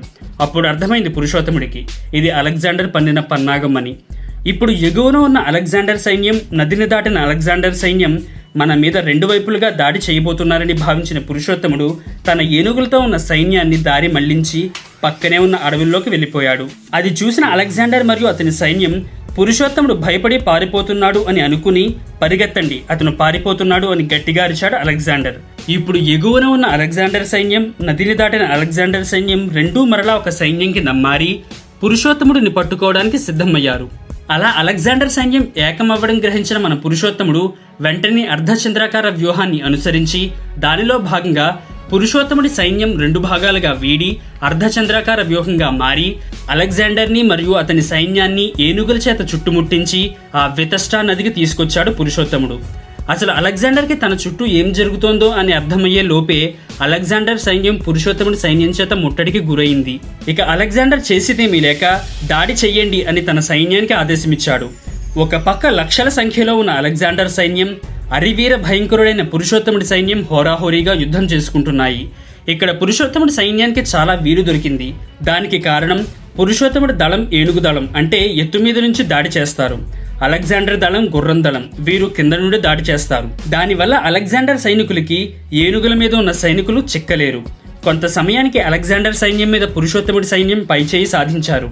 అలెగ్జాండర్ ఆశ్చర్యపోయి పురుషోత్తముడి వ్యూహానికి వారి సైన్యానికి ఉన్న బలాన్ని చూసి ఇంకా ఆశ్చర్యపోయాడు. పురుషోత్తముడి సైన్యం ఏనుగుల మీద నుండి బళ్ళాలు బాణాలు కత్తులు విసురుతుంటే గుర్రాల మీద ఉన్న అలెగ్జాండర్ సైన్యం పెట్టల్లా రాలిపోతున్నారు. దానికి తోడు ప్రకృతి అలెగ్జాండర్ మీద పగపట్టినట్లు భారీ వర్షం కురిసింది. ఆ ప్రాంతం బురదగా మారింది. నది ఉగ్ర రూపం దాల్చింది. ఆ బురదలో అలెగ్జాండర్ సైన్యపు గుర్రాల కాళ్ళు కూరుకుపోతున్నాయి. అవి ఎటూ కదలలేని పరిస్థితుల్లో ఉండిపోయాయి. కానీ ఏనుగుల సైన్యమైన పురుషోత్తముడి సైన్యం బురదలో కూడా యుద్ధాన్ని చేస్తున్నాయి. దానికి కారణం ఏనుగులకి బురదలో ఆడుకోవడం ఇష్టం అవ్వడం వలన. ఇంతలోగా అలెగ్జాండర్కి దగ్గరలో ఒక బళ్ళెం వచ్చింది. ఆ బల్లెం దాటికి అలెగ్జాండర్ సైన్యంలో ఇద్దరు సైనికులు మరణించారు. ఆ బల్లెం విసిరింది ఎవరో అని అలెగ్జాండర్ చూడగా అతనికి పురుషోత్తముడు కనిపించాడు. వెంటనే తన గుర్రాన్ని వేగంగా పురుషోత్తముడి ఏనుగు వద్దకు తీసుకెళ్ళి గుర్రం మీద నించుని ఆ పురుషోత్తముడి మెడ నరుకుదామని కత్తి విసిరే లోపు ఒక బళ్ళాన్ని పురుషోత్తముడు ఆ అలెగ్జాండర్ గుర్రం గొంతులోకి దింపాడు. ఆ గుర్రం మీద ఉన్న అలెగ్జాండర్ మరియు ఆ గుర్రం కూడా కిందకి పడిపోయాయి. ఆ గుర్రం రక్తం కక్కుకుని చనిపోయింది. ఆ గుర్రం అంటే అలెగ్జాండర్కి ప్రాణం. ప్రతి యుద్ధంలో ఆ గుర్రాన్ని అలెగ్జాండర్ వాడేవాడు. ఆ చనిపోయిన గుర్రాన్ని చూసిన అలెగ్జాండర్ ఏడుస్తూ నించున్నాడు. ఇంతలో అలెగ్జాండర్ ముందుగా ఏడు పాయింట్ రెండు అడుగుల బలిష్టమైన శరీరం వేటకి సిద్ధమైన పెద్ద పులి లాంటి కళ్ళతో కత్తే ఒక కత్తి పట్టుకున్నట్లు ఉన్న పురుషోత్తముడు అలెగ్జాండర్కి ఎదురుగా ఉన్నాడు. వెంటనే అలెగ్జాండర్ తన కత్తిని తీసి పురుషోత్తముడితో కత్తి యుద్ధం చేయడం మొదలుపెట్టాడు. ఆ యుద్ధం ఎలా జరుగుతోందంటే సైన్యాలలోని కొంతమంది సైనికులు అలా చూస్తూ ఉండిపోయారు. ఒక్కసారి మీరు కూడా ఊహించుకోండి. ఏడు పాయింట్ రెండు అడుగుల వ్యక్తి భారీ శరీరంతో అత్యంత వేగంగా యుద్ధం చేయడం. తలుచుకుంటుంటేనే ఎంతో వీరత్వం మనలో కూడా వస్తున్నట్టు అనిపిస్తోంది కదా. ఈలోగా అలెగ్జాండర్ కత్తి పురుషోత్తముడు మీదకు వచ్చింది. వెంటనే పురుషోత్తముడు తన కాలితో ఆ కత్తిని తన్నాడు. అలెగ్జాండర్ కత్తి కింద పడిపోయింది. అలెగ్జాండర్ నిరాయుధుడిగా ఉండిపోయాడు.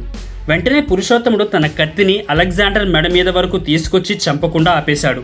అవకాశం వచ్చిన పురుషోత్తముడు అలెగ్జాండర్ తల నరకకపోవడానికి కారణం అలెగ్జాండర్ మెడలో ఉన్న ముత్యాల హారం ఇక్కడ ఇంకో ట్విస్ట్ ఏంటంటే ఆ ముత్యాల హారం పురుషోత్తముడిది కావడం. అలెగ్జాండర్ అలా కూర్చుని ఉండిపోయాడు. తనని పురుషోత్తముడు ఎందుకు చంపలేదో అర్థం కాలేదు. అలానే ఆ ముత్యాలహారం అలెగ్జాండర్ దగ్గరికి ఎలా వచ్చిందో పురుషోత్తముడికి కూడా అర్థం కాలేదు. ఇరు సైన్యాలకి ఏం జరుగుతోందో అర్థం కాలేదు. ఇంతలో పురుషోత్తముడు అలెగ్జాండర్తో నీ మెడలో ఆ ముత్యాలహారం ఉన్నంత వరకు నిన్ను నేను చంపను అని తన కత్తిని కిందకి పడేశాడు.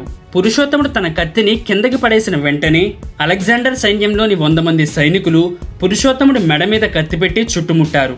దాని తర్వాత పురుషోత్తముడు ఏమి చేశాడు? అలెగ్జాండర్ మెడలోకి ఆ ముత్యాలహారం ఎలా వచ్చింది అనే విషయాలను నెక్స్ట్ ఎపిసోడ్లో చూద్దాం. అత్యంత హోరాహోరీగా జరుగుతున్న యుద్ధంలో పురుషోత్తముడు పైచేయి సాధించాడు. అలెగ్జాండర్ మెడ మీద కత్తి పెట్టి చంపకుండా వదిలేశాడు. దానికి కారణం అలెగ్జాండర్ మెడలో ఉన్న ముత్యాల హారం. ఆ ముత్యాల హారం పురుషోత్తముడిది కావడం ఇక్కడ అందరికీ ఆశ్చర్యం కలిగించింది. పురుషోత్తముడు ఆ ముత్యాల హారాన్ని చూసి అలెగ్జాండర్ని చంపకుండా వదిలేసి తన చేతిలో ఉన్న కత్తిని కిందకి పడేశాడు. వెంటనే అలెగ్జాండర్ సైన్యం పురుషోత్తముడిని కత్తులతో చుట్టుముట్టింది. వెంటనే పురుషోత్తముడిని బంధించి అక్కడ నుండి వారి స్థావరంకి తీసుకువెళ్ళారు పురుషోత్తముడు బందీగా ఉన్నా కూడా అలెగ్జాండర్ భయపడుతూ ఉన్నాడు. ప్రపంచాన్ని జయించాను అనుకునే నాకు ప్రాణభిక్షను పెట్టాడు ఒక భారతీయుడు. ప్రపంచాన్నే భయపెట్టిన నాకు భయం అంటే ఏంటో చూపించాడు ఒక భారతీయుడు. నేను ప్రాణంతో మిగులున్నానంటే కారణం ఈ పురుషోత్తముడే. అందుకే నా గురువైన అరిస్టాటిల్ భారతదేశం గురించి అంత గొప్పగా చెప్పారు అని ఆలోచించుకుంటున్నాడు.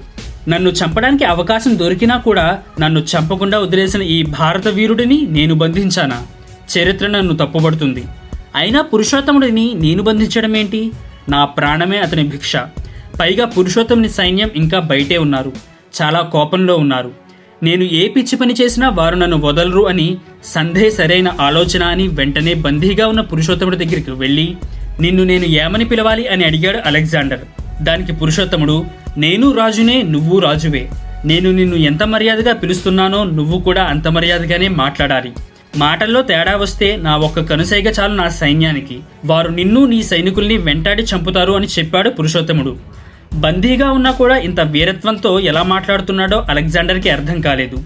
వెంటనే అలెగ్జాండర్ ఓ వీరా నీ వీరత్వానికి నీ యుద్ధ వ్యూహానికి నేను అభిమానిని అయ్యాను. నాకు నీలాంటి రాజుతో శత్రుత్వం కన్నా స్నేహమే మంచిని చేస్తుంది. అని పురుషోత్తముడితో అంటాడు అలెగ్జాండర్. కానీ పురుషోత్తముడు మాత్రం ముందు ఒప్పుకోలేదు. కానీ యుద్ధం వల్ల అనేక మంది ప్రాణాలు పోతాయని భావించి స్నేహాన్ని అంగీకరించాడు. ఇద్దరూ మంచి మిత్రులుగా మారారు. పురుషోత్తముడు మాత్రం అలెగ్జాండర్ నేను నీకు మిత్రుడిని అయ్యాను అని అంటే దాని అర్థం నేను నీకు బానిసను కాను. ఏ యుద్ధంలోనూ నీతో పాటు కలిసి వేరే రాజ్యం మీద యుద్ధం చేయను అని చెప్పాడు. దానికి అలెగ్జాండర్ ఒప్పుకున్నాడు కూడా. కొన్ని రోజుల తర్వాత అలెగ్జాండర్ పురుషోత్తముడికి ఒక నాణాన్ని ఇస్తాడు. ఆ నాణ్యం మనం చేసిన యుద్ధానికి గుర్తుగా మన స్నేహానికి గుర్తుగా దీన్ని ముద్రించాను. ఎలా ఉంది ఆ నాణ్యం అని అడుగుతాడు అలెగ్జాండర్. దానికి పురుషోత్తముడు ఎందుకు మిత్రమా పాతగాయాన్ని రేపుతున్నావు? అని అంటాడు. అలా కాదు పురుషోత్తమా నేను ప్రపంచంలో ఎన్నో రాజ్యాల మీద ఎంతోమంది రాజులతో యుద్ధం చేశాను కానీ నీలాంటి వీరుడిని నేను చూడలేదు.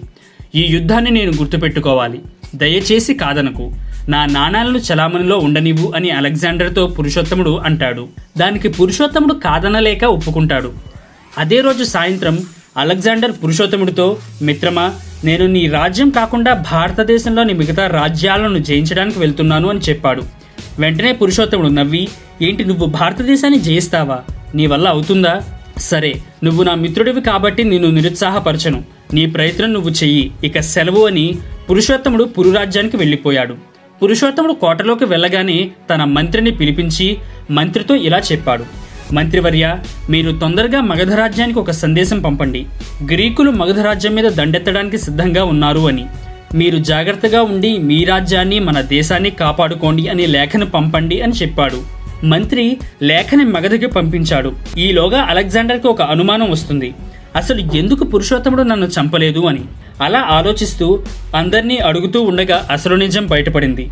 ఆ నిజం ఏంటంటే మనం ఎపిసోడ్ సెవెన్ మరియు ఎపిసోడ్ ఎయిట్లో చెప్పుకున్నట్టు అలెగ్జాండర్ పురురాజ్యానికన్నా ముందు అశ్వసేనుని రాజ్యం మీద యుద్ధం చేస్తాడు. ఎంత ప్రయత్నించినా ఆ రాజ్యం లోపలికి వెళ్ళలేకపోతున్నాడు అలెగ్జాండర్. అశ్వసేనుడు చాలా వీరుడు కానీ చూడడానికి భయంకరంగా ఉంటాడు అంటే అంత అందగాడు కాదు. కానీ అశ్వసేనుని భార్య చాలా అందంగా ఉంటుంది. ఆమె పేరు కళాపనీదేవి ఆవిడికి అశ్వసేనుడు అంటే ఇష్టం లేదు. కారణం అతను అంత అందగాడు కాకపోవడం. కళాపినీదేవికి అలెగ్జాండర్ గురించి తెలిసింది. అతను చూడడానికి చాలా అందంగా ఉంటాడని. అశ్వసేనుడికి తెలియకుండా కళాపినీదేవి ఆ కోటలోకి ఎలా రావాలో నేను మీకు చెప్తాను కానీ నావి కొన్ని షరతులు. ఆ షరతులు ఏంటంటే మీరు నా భర్త అయిన అశ్వసేనుడిని చంపాక నన్ను మీతో ఉంచుకోవాలి. భారతదేశంలో మీరు ఉన్నంతకాలం నన్ను మీ దగ్గరే ఉండనివ్వాలి. నాతో పాటు నా ఐదు సంవత్సరాల కొడుకును కూడా అని చెప్పి లేఖని రహస్యంగా అలెగ్జాండర్కి పంపిస్తుంది కళాపినీదేవి దానికి అలెగ్జాండర్ ఒప్పుకున్నట్టు ఒక లేఖని పంపి కోటలోకి రహస్య ద్వారం గురించి అడుగుతాడు. ఆ రహస్య ద్వారం గురించి ఉన్న సమాచారాన్ని మరొక లేఖలో కళాపినీదేవి అలెగ్జాండర్కి పంపిస్తుంది. అలెగ్జాండర్ ఆ రహస్య ద్వారం నుండి వచ్చి అశ్వసేనుని రాజ్యాన్ని ఓడించి అశ్వసేనుడిని చంపి ఆ రాణి అయిన కళాపినీదేవిని ఆమె కొడుకైన ఐదు సంవత్సరాల బాబుని అలెగ్జాండర్ తనతో పాటు తీసుకెళ్తాడు. కానీ ఈ కళాపినీదేవే అలెగ్జాండర్ భార్య అని మనకి చాలామంది చెప్తారు. కానీ అసలు అలెగ్జాండర్ భార్య అయిన రుక్సానా గ్రీకు దేశం వదిలి అలెగ్జాండర్తో రాలేదు. ఇది ఎవరికీ తెలియని చరిత్ర. ఇక్కడ అంబిరాజు ఒక పన్నాగం పన్నాడు. ఆ కళాపిని దేవితో నువ్వు పురురాజ్యంకి వెళ్ళి పురుషోత్తముడిని కలిసి పతిభిక్ష పెట్టమని అడుగు అని చెప్తాడు. కానీ కళాపినీదేవి భర్త అయిన అశ్వసేనుడు చనిపోయాడు. అలెగ్జాండర్ కళాపినీదేవిని పెళ్ళి చేసుకోలేదు. సో కళాపినికి అర్థం కాలేదు. పురుషోత్తముడికి అబద్ధం చెప్పడమా? నేను చెప్పను అని అంబితో చెప్తుంది కళాపినీదేవి దానికి అంబి నువ్వు అలా చేయకపోతే అలెగ్జాండర్ ఆధీనంలో ఉన్న నీ ఐదు సంవత్సరాల కొడుకుని చంపేస్తామని బెదిరించి ఒప్పించాడు. మనం లాస్ట్ వీడియోలో పురుషోత్తముడు వైష్ణవీదేవి పూజ చేస్తున్నప్పుడు ఒక స్త్రీని కలిశాడు అని చెప్పుకున్నాం కదా అది కళాపినీదేవిని మారువేషంలో వచ్చిన కళాపినీదేవి పురుషోత్తమ నాకు ప్రతిభిక్ష పెట్టు అని అడిగింది. ఒక సోదరి వచ్చి ప్రతిభిక్ష పెట్టమని అడిగితే నేను ఎందుకు ఇవ్వను? చెప్పు నీ భర్త ఎవరో అని పురుషోత్తముడు అడుగుతాడు. కానీ కళాపినీదేవి రాజా ఆ విషయాలు నేను చెప్పలేను. మీరు ఒక ముత్యాల హారాన్ని ఇవ్వండి. ఆ ముత్యాల దండ ఎవరి మెడలో ఉంటే వారిని చంపకుండా వదిలేయండి అని చెప్తుంది. దానికి పురుషోత్తముడు ఒప్పుకుని తన మెడలో ఉన్న ముత్యాల దండని తీసి కళాపినీదేవికి ఇస్తాడు. ఆ ముత్యాల దండే అలెగ్జాండర్ మెడలో ఉంది. ఆ ముత్యాల హారాన్ని చూసే పురుషోత్తముడు అలెగ్జాండర్ని చంపకుండా వదిలేశాడు. ఈ జరిగిన విషయమంతా అలెగ్జాండర్కి ముందు తెలియదు. ఇదంతా అంబి చేసిన పని అని అలెగ్జాండర్కి తర్వాత అర్థమవుతుంది. కానీ కొన్ని చరిత్ర పుస్తకాల్లో కళాపినీదేవిగా వచ్చిన ఆవిడ అలెగ్జాండర్ భార్య అయిన రుక్సానా అని చెప్తారు. కానీ రుక్సానా అలెగ్జాండర్తో పాటు భారతదేశానికి రాలేదు. ఇది మనం బాగా గుర్తుంచుకోవాలి. అలా పురుషోత్తముడు అలెగ్జాండర్ని చంపకుండా ఉండడానికి కారణం ఆ ముత్యాల హారం అనమాట పురుషోత్తముడు మగధ రాజ్యానికి లేఖను పంపమని చెప్పిన సమయంలో మగధని పరిపాలిస్తున్న రాజు ధననందుడు. ఇతని గురించి నెక్స్ట్ ఎపిసోడ్లో చూద్దాం. నెక్స్ట్ ఎపిసోడ్ మరింత ఇంట్రెస్టింగ్గా ఉంటుంది. దానికి కారణం చాణుక్యుడు. అవును ధననందుడి గురించి చెప్పినప్పుడు భారతదేశ దశా దిశను మార్చిన చాణక్యుడి గురించి చెప్పుకోవాలి. నెక్స్ట్ ఎపిసోడ్లో వీరి గురించి తెలుసుకుందాం. లాస్ట్ ఎపిసోడ్లో పురుషోత్తముడు అలెగ్జాండర్కి మధ్య జరిగిన యుద్ధం గురించి చూసాం పురుషోత్తముడు మగధకి అలెగ్జాండర్ దండెత్తబోతున్నాడు అనే సందేశాన్ని పంపిస్తాడని చెప్పుకున్నాం. అలా సందేశం పంపించిన సమయంలో మగధ సామ్రాజ్యాన్ని ధననందుడు అనే రాజు పరిపాలిస్తున్నాడు. మనం ఎపిసోడ్ సిక్స్లో చెప్పుకున్నట్టు ధననందుడు నందవంశ రాజులలో చివరివాడు. ఈ వీడియోలో ధననందుడి గురించి అలానే భారతదేశ దశా దిశను మార్చిన మరొక గొప్ప వ్యక్తి గురించి చూద్దాం. ధననందుడు.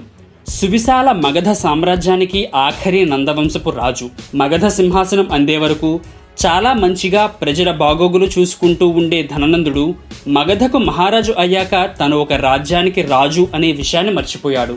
ప్రజలను పట్టించుకోకుండా గాలికి వదిలేశాడు. పన్నుల పేరు చెప్పి ప్రజల నుండి డబ్బులు వసూలు చేసి ఖజానాను నింపుకున్నాడు. ఇతనికి మొదటి నుండి డబ్బు మీద ఆశ ఎక్కువ. ఇతను వసూలు చేసిన డబ్బు రాజ్యసంపద మొత్తం గంగానది తీర ప్రాంతంలో ఒక గుహలో దాచారని అందరూ చెప్తారు. మన పురాణాల్లో కూడా దీని గురించి ప్రస్తావించారు. తన దగ్గరున్న డబ్బు హోదా పదవి వీటిని చూసి ధననందుడు ఇష్టం వచ్చినట్టు ప్రజలతో ప్రవర్తించేవాడు. రాజ్యపాలనను గాలికి వదిలేసి అంతఃపురంలోనే వేల మంది అతిథులతో తన కాలాన్ని గడిపేవాడు ధనానందుడు ఎప్పుడూ వారిధ్యాసలోనే ఉండేవాడు. ప్రతి రాజ్యానికి మంత్రులు ఉన్నట్టుగానే మగధ రాజ్యానికి కూడా అనేక మంది మంత్రులున్నారు. వారిలో ఇద్దరు ప్రముఖులు. ఒకరు రాక్షసుడు. ఇతను ధననందుడికి అత్యంత నమ్మకస్తుడు. ఇతను ధననందుడికి ఉన్నది లేనట్టుగా చెప్తూ ఉంటాడు. మరొక మంత్రి పేరు శక్తారుడు ఇతను చాలా నిజాయితీపరుడు. ధననందుడు రాజ్యపాలన ప్రజలను పట్టించుకోకపోవడంతో ప్రజలు అష్టకష్టాలు పడుతున్నారని భావించి ఇతనే అనేక ప్రజా ప్రయోజన కార్యక్రమాలు నిర్వహించేవాడు. ఇంకా చెప్పాలి అంటే మగధరాజ్యం అత్యంత పటిష్టంగా ఉందని అంటే దానికి కారణం శక్తారుడు ధననందుడు అంతఃపురానికి పరిమితం అయిపోయాక రాజ్యాధికారం రాక్షసుడు తన గుప్పెట్లో పెట్టుకున్నాడు. ధననందుడు అలా చెడిపోవడానికి కారణం రాక్షసుడు అనే మంత్రి వల్లనే. ఇవన్నీ గమనిస్తూ ఉన్న మరొక మంత్రి శక్తారుడు వీలు దొరికినప్పుడల్లా రాక్షసుడిని ఇరకాటంలో పెట్టేవాడు. మిగిలిన మంత్రులకి రాక్షసుడు రాజ్య ఖజానాన్ని దోచిపెడుతున్న విషయం శక్తారుడికి తెలిసింది. ధననందుడి వద్దకు వెళ్ళి జరుగుతున్నదంతా చెప్పాలని నిర్ణయించుకున్నాడు శక్తారుడు. రాక్షసుడితో సహా మిగిలిన మంత్రులు ఎలాగైనా శక్తారుడిని రాజ్యం నుంచి వెళ్ళగొట్టాలని భావించారు. శక్తారుడు తెగించి రాజు వద్దకు వెళ్ళి రాజా ధననంద ధర్మాన్ని రాజ్యాన్ని ప్రజల్ని కాపాడాల్సిన మీరే అధర్మ మార్గంలో ప్రయాణిస్తున్నారు. రాజు ఉండి కూడా రాజ్యం మరియు రాజ్య ప్రజలు అనాథులుగా బ్రతుకుతున్నారు. మీరు నమ్మిన మంత్రి మిమ్మల్ని ముంచుతున్నాడు. మీరు ఇలాగే ప్రవర్తిస్తే మగధ రాజ్యపు అంతం తొందరలోనే అంటూ చెప్తుండగా ధననందుడికి పట్టరాని కోపం వచ్చింది. ఎందుకంటే నిజాల కోపాన్ని తెప్పిస్తాయి కాబట్టి. వెంటనే ఓ శక్తారా ఏంటి? నన్ను నా రాజ్యాన్ని విమర్శిస్తావా? అఖండ భారతదేశంలో ఉన్న ఏకైక మహాసామ్రాజ్యానికి అధిపతిని నాకే ఎలా ఉండాలో చెప్తావా? నా రాజ్యం మీద యుద్ధం చేయడానికి శత్రురాజులు భయపడతారు. అటువంటిది నన్ను నువ్వు విమర్శిస్తావా? రాక్షస మంత్రివర్య వెంటనే వీడిని చెరసాలలో బంధించి అతి తీవ్రమైన చిత్రహింసలకు గురి చెయ్యండి అని అహంకారంతో ఆదేశించాడు ధననందుడు. తనకి శిక్ష పడుతుందని తెలిసినా కూడా మగధ సామ్రాజ్యపు రక్షణకై శక్తారుడు ఉన్నది ఉన్నట్లుగా చెప్పేశాడు. శక్తారుడు లాంటి వాళ్ళను బంధించి రాక్షసుడు లాంటి వాళ్ళని పక్కన పెట్టుకోవడం వల్ల ధననందుడి పతనం తనకి తానుగా తెచ్చుకున్నట్టు అయింది. శక్తారుడిని బంధించాక మగధ రాజ్యం మరింత అంధకారంలోకి వెళ్ళిపోయింది. శక్తారుడికి ఒక ప్రాణ స్నేహితుడు ఉన్నాడు. అతని పేరు ఋషి చణకుడు అతనికి శక్తారుడిని అన్యాయంగా బంధించారనే విషయం తెలిసింది. వెంటనే ఋషి చణకుడు ప్రజల్లోకి వెళ్ళి జరిగిన అన్యాయం గురించి ప్రజలకి చెప్తూ ప్రజల్లో చైతన్యం సృష్టించడానికి ప్రయత్నిస్తున్నాడు. ఆ విషయాన్ని మగధ సైనికులు ధననందుడికి చెప్పారు. ధననందుడు వెంటనే అతన్ని బంధించి అంతఃపురానికి తీసుకురండి అని తన సైనికులకి ఆజ్ఞాపించాడు. సైనికులు ఆ ఋషి చణకుడిని బంధించి రాజు అయిన ధననందుడి దగ్గరికి తీసుకొచ్చారు. వెంటనే ధననందుడు వీడి తలని నరకండి అని చెప్పి ఆ తలను చెట్టుకు వేలాడదీయండి అని ఆజ్ఞాపించాడు తన సైనికులకి. వెంటనే అతని తలని నరికి తన తలకి ఉన్న శిఖతో ఆ నరికిన తలను చెట్టుకు వేలాడదీశారు ఆ సైనికులు. హైందవ సనాతన ధర్మంలో శిఖకు చాలా ప్రాముఖ్యత ఉంటుంది.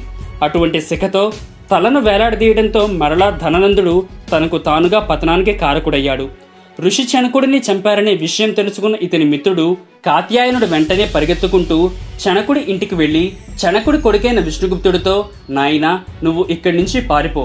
లేకపోతే వాడు నిన్ను కూడా చంపేస్తారు అని చెప్పి ఆ విష్ణుగుప్తుడిని ఎవరూ గుర్తుపట్టకుండా నల్లని బొగ్గును నూనెతో కలిపి విష్ణుగుప్తుడి శరీరాన్నంతటినీ పట్టించి రాజ్యం నుండి పారిపోవడానికి సహకరిస్తాడు.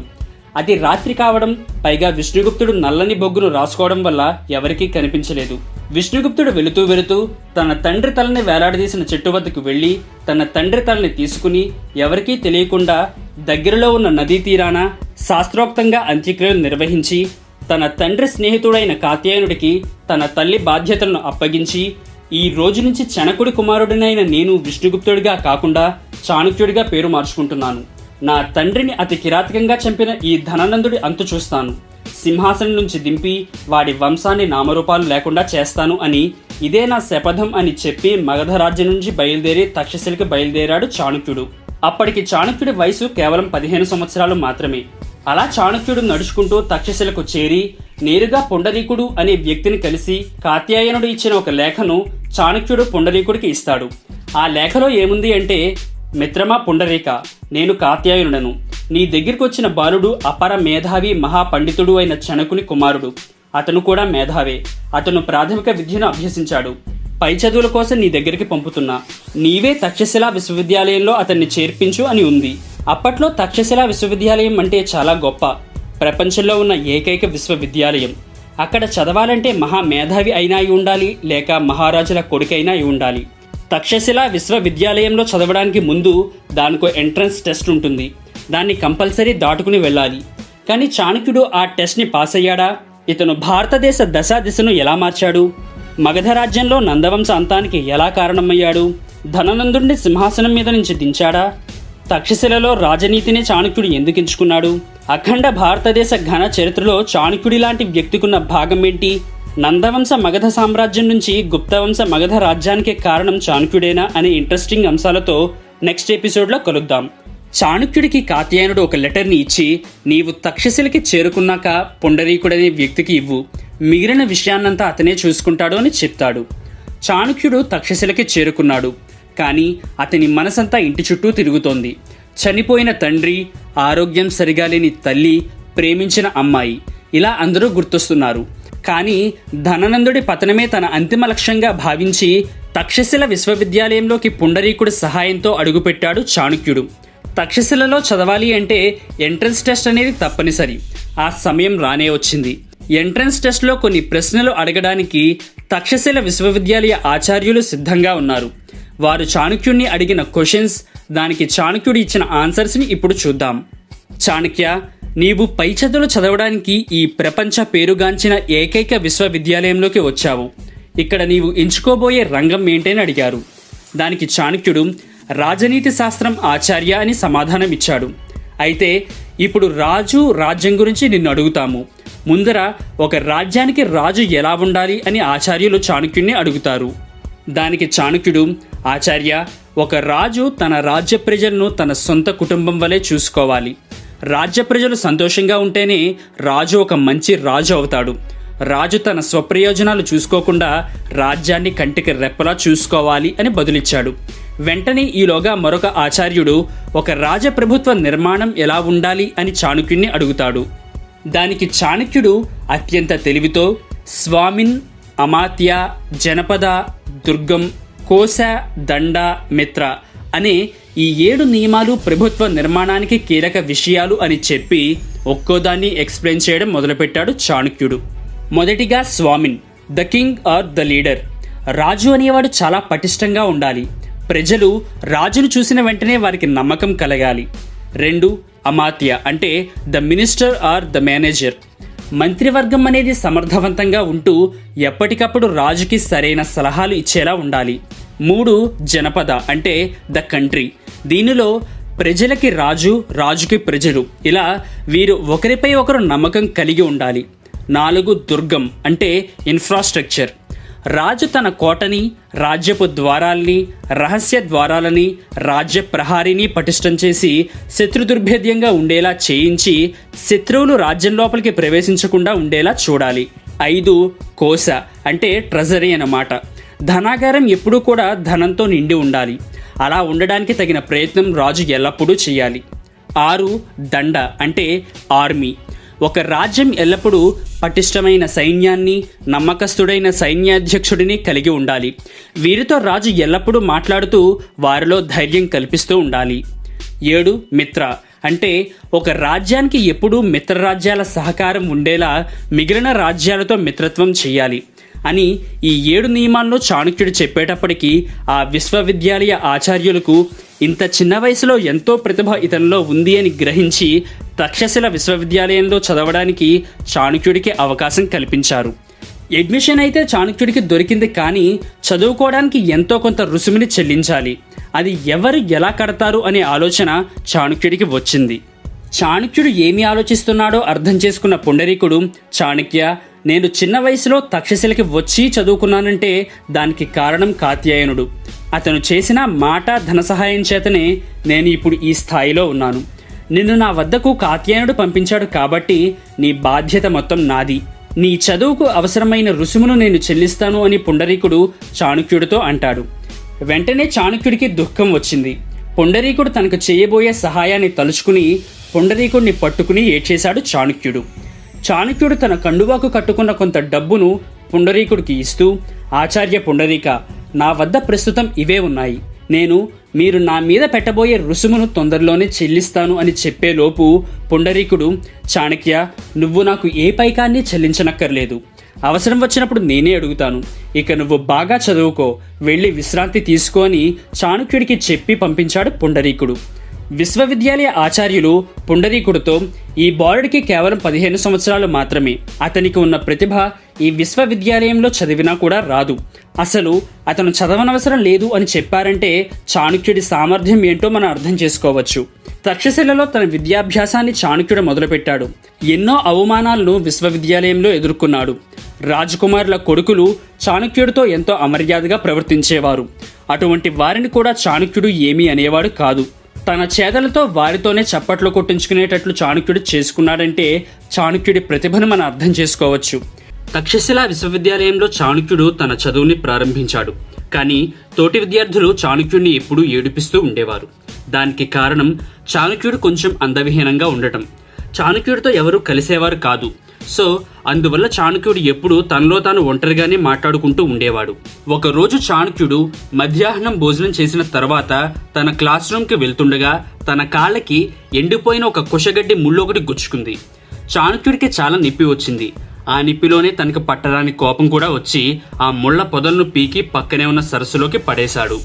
ఆ విషయాన్ని చూసిన సహచర విద్యార్థులు వీడికి పిచ్చి పట్టింది అని ఎగతాళి చేస్తూ చాణక్యుడిని ఏడిపించారు. అయినా కూడా చాణక్యుడు వారిని పట్టించుకోలేదు. అలా వరుసగా చాణక్యుడు ఒక్కడే పది రోజులు ఆ ప్రాంతంలో ఉన్న ముళ్ళ కంపనంతటినీ పీకేశాడు. తోటి విద్యార్థులు చాణక్యుడు చేసిన పనికి ఆశ్చర్యపోయారు. ఒక్క ముళ్ళు కూడా లేకుండా చేశాడు అని చెప్పుకుంటూ ఉండగా ఇంతలో ఇంకో విద్యార్థి ఈ పనిని నూట యాభై మంది కలిసి పది రోజులు చేసినా కూడా ఆ పని పూర్తవదు కానీ చాణక్యుడు ఒక్కడే పది రోజుల్లో ఈ పని పూర్తి చేశాడు. పైగా చాణక్యుడు మళ్ళీ ఆ ముళ్ళకంప ఆ ప్రాంతంలో పుట్టకుండా ఏదో చేశాడు. అదేంటో మనం తెలుసుకోవాలి అనుకుని అదే రోజు రాత్రి చాణక్యుడి గది ముందు ఎవరైతే చాణక్యుడిని ఎక్కిరించారో వారే చాణక్యుడి గది తలుపు ముందు నించుని చాణక్యుడి గురించి చూస్తున్నారు. చాణక్యుడు తన గది నుండి బయటికి వచ్చాడు. తన గది తలుపు బయట ఉన్న వందలాది విద్యార్థులను చూసి ఆశ్చర్యపోయాడు. తనకి ఏమీ అర్థం కాలేదు. ఇంతలో ఒక విద్యార్థి చాణక్య నువ్వు ఒక్కడివే ఆ ముళ్ళకంప ప్రాంతాన్ని ఎలా శుభ్రపరిచావు? అది కూడా ఇంత తక్కువ సమయంలో అని అడుగుతాడు. ఓహో అదా. అందుకోసం వచ్చారా? అని లోపలికి వెళ్ళి ఒక ద్రవంతో నిండిన పాత్రని చాణక్యుడు బయటికి తీసుకొచ్చి దీని సహాయంతోనే నేను ఆ ప్రదేశాన్ని శుభ్రపరిచాను అని చెప్పాడు. ఇంకా ఈ ద్రవం గురించి చెప్పాలి అంటే పాలు బెల్లం కలిపిన మిశ్రమం. ఆ ముళ్ళకంప జాతి పేరు కుషగడ్డి. కుషగడ్డికి శత్రువు చీమలు. ఈ చీమలు కుషగడ్డిని కొరికి ఆ గడ్డి నుండి ముళ్ళను వేరు చేస్తాయి. మీకు అర్థమయ్యేలా చెప్పాలి అంటే మన శత్రువుకి శత్రువు మన మిత్రుడు అనమాట ఇక్కడ మన శత్రువు ఈ కుషగడ్డి దానికి ఉన్న ముళ్ళు. కుషగడ్డి అంటే చీమలకి ఇష్టం. ఆ గడ్డిని ఈ చీమలు కురికివేసి ముళ్ళను వేరు చేస్తాయి. సో ఇప్పుడు మనకి ఆ ప్రాంతంలో చీమలు కావాలి. ఆ చీమలు ఎలా వస్తాయి? ఈ ద్రవాన్ని ఆ కుషగడ్డి మొదట్లో వేయడం వల్ల చీమలు ఇక్కడికి వచ్చి ఆ గడ్డిని కొరికి ముళ్ళను వేరు చేస్తాయి. ఆ విధంగా నేను ఆ ప్రదేశాన్ని శుభ్రపరిచాను అని చెప్పి ఆ ద్రవాన్ని మరలా శుభ్రపరిచిన ప్రదేశానికి తీసుకెళ్తున్నాడు చాణుక్యుడు. చాణుక్యుడితో పాటు ఆ విద్యార్థులు కూడా ఆ ప్రదేశానికి వెళ్ళారు శుభ్రపరిచిన ప్రదేశంలో ఇంకా ఆ ద్రవాన్ని చల్లుతున్నాడు చాణుక్యుడు. అదేంటి చాణక్య? ఈ ప్రదేశంలో ఇంకా కుషగడ్డి ముళ్ళు లేవు కదా. ఇంకా ఎందుకు ఈ ద్రవాన్ని జల్లుతున్నావు అని తోటి విద్యార్థి అడగగా దానికి మన చాణక్యుడు మిత్రమా మనం ఎప్పుడైనా యుద్ధం చేస్తే శత్రుశేషం అనేది మిగలకూడదు. మనకి ఇప్పుడు ఈ ప్రాంతం శుభ్రంగా ఉన్నట్లు కనిపించినా కూడా ఈ కుషగడ్డి వేర్లు భూమిలో సజీవంగా ఉండి మరలా ఆ ముళ్ళను పుట్టిస్తాయి. నేను ఇప్పుడు ఈ ద్రవాన్ని చల్లడం వల్ల చలిచేమలు మళ్ళీ వచ్చి వాటి వేర్లను కూడా తినేస్తాయి. అందువల్ల ఈ ప్రదేశంలో ఇంకెప్పుడు ఈ కుషగడ్డి అనేది మొలవదు అని చెప్పాడు. అది విన్న తక్షశిల విద్యార్థులందరూ చాణుక్యుడిని పొగడడం మొదలుపెట్టి చాణుక్యుడికి అభిమానులైపోయారు. ఒకప్పుడు అందవిహీనంగా ఉన్నాడనే కారణం చేత ఎవరూ చాణుక్యుడితో మాట్లాడలేదు. కానీ ఇప్పుడు అదే రాజకుమారుల విద్యార్థులు చాణుక్యుడితో స్నేహం కోసం పోటాపోటీగా ఎగబడ్డారు. చాణుక్యుడి పేరు తక్షశిలలోనే కాకుండా చుట్టుపక్కల ప్రాంతాలకి మారుమోగిపోయింది. కొన్ని రోజుల తర్వాత చాణుక్యుడికి ఒక లెటర్ వచ్చింది. ఆ లెటర్లో నన్ను దండయోగి అంటారు. నీవు నన్ను ఒకసారి చూసి వెళ్ళు అని రాసుంది. చాణుక్యుడు ఆ దండయోగి ఉన్న భయంకర గుహలోకి వెళ్తాడు. ఆ దండయోగి చాణుక్యుడి రాకను చూసి వెంటనే నీలో ఉన్న ఈ ఆవేశమే అఖండ భరతఖండ భవిష్యత్తును నిర్దేశిస్తుంది అని చెప్తాడు. అంతేకాకుండా చాణక్య నీలో ఉన్న ఈ ఆవేశానికి కారణం ఏంటి అని కూడా ఆ దండయోగి అడుగుతాడు. ఓ యోగి పుంగవ భరతఖండంలోని ప్రజలందరూ నేను తక్షశిల రాజ్యపు వాడిని లేదా మగధ కౌశల అవంతి రాజ్యపు వాడిగా చెప్పుకుంటున్నారు. కానీ వారిలో ఏ ఒక్కరూ కూడా నేను భరతఖండపు పౌరుడిని అని చెప్పుకోవట్లేదు. నా ఆవేశం వెనుక ఉన్న కారణం ఇదే అని చెప్తాడు. వెంటనే ఆ దండయోగి చాణక్య భారతదేశ దశా దిశను నీవే మార్చాలి. తొందరలోనే ఒక గ్రీకు దేశపు రాజు మన భరతఖండాన్ని విచ్ఛిన్నం చేయడానికి రాబోతున్నాడు. దాన్ని నీవే ఎదుర్కోవాలి అని చెప్పి చాణుక్యుణ్ణి అక్కడి నుంచి పంపించేస్తాడు. అప్పటికి ఇంకా గ్రీకు దేశపు రాజు మన భారతదేశానికి రాలేదు. ఆ యోగి చెప్పింది మరెవరి గురించో కాదు అలెగ్జాండర్ గురించి. చాణక్యుడు తక్షశిలకి చేరుకున్నాక ప్రధానోపాధ్యాయుడు నుండి ఒక సందేశం వచ్చింది.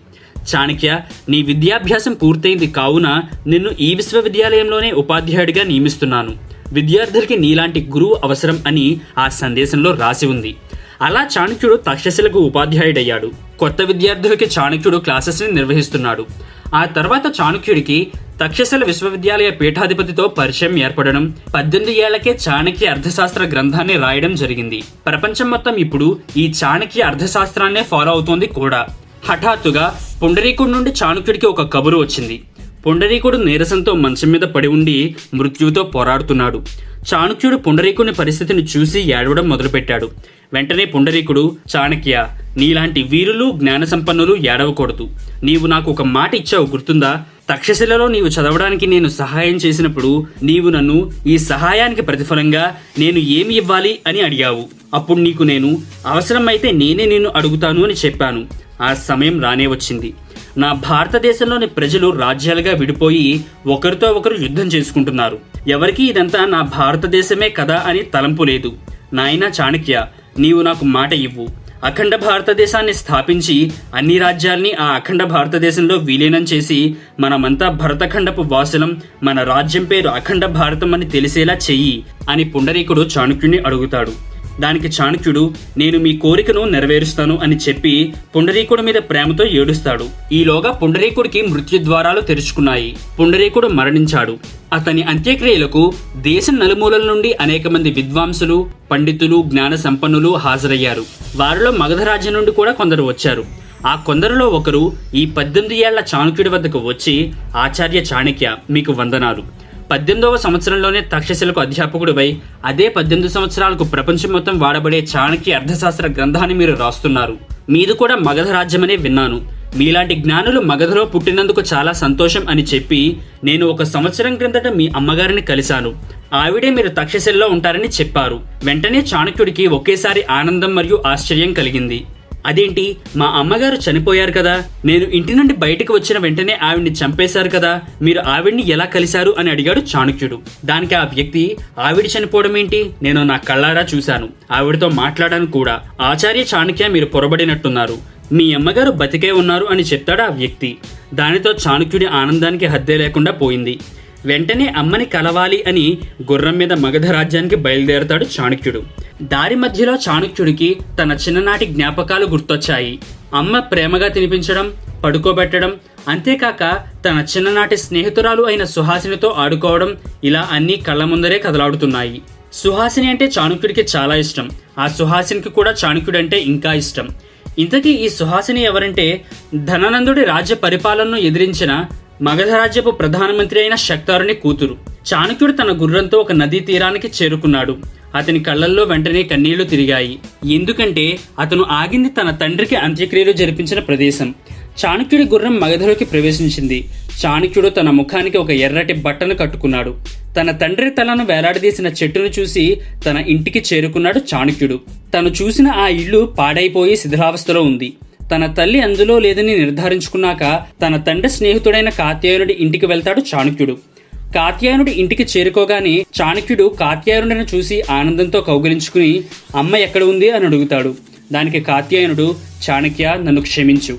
మీ అమ్మ నాలుగు నెలల క్రితమే చనిపోయింది అని చెప్తాడు. ఆ మాటలు విన్న చాణక్యుడు వెంటనే కళ్ళు తిరిగి కిందకి పడిపోయాడు. స్పృహలోకి వచ్చాక తన తల్లిని తలుచుకుంటూ చాణక్యుడు ఏడుస్తూ అలా ఉండిపోయాడు. కాత్యాయనుడు ఓదారుస్తూ నాయనా చాణక్య నీకు పద్నాలుగు సంవత్సరాల వయసు ఉండగానే నీ తల్లిని మగధ సైనికులు కొట్టి చంపారని చెప్పాను కదా. కానీ నీ తల్లిని కొట్టాక ఆవిడ కొన ఊపిరితో ఉందని తెలుసుకున్న నేను వైద్యం చేయించాను. ఆరోగ్యం కూడా బాగుపడింది.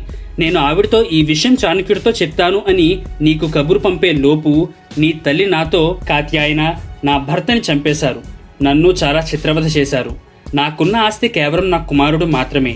నేను బ్రతికి ఉన్నానని వాడికి తెలిస్తే వాడు చదువు మానేసి నా దగ్గరికి వచ్చేస్తాడు. ఈ ధననందుడు వాడిని చూస్తే చంపేస్తాడు.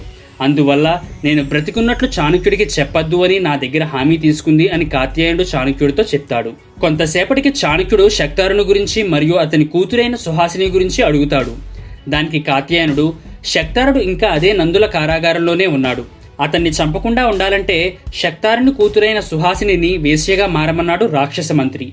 తన తండ్రిని కాపాడుకోవడం కోసం దిక్కులేని పరిస్థితుల్లో రాక్షసుని దగ్గర వేసిగా మారింది అని చెప్తాడు. ఆ మాటలు విన్న చాణక్యుడికి చాలా బాధ పట్టదాని కోపం వచ్చింది.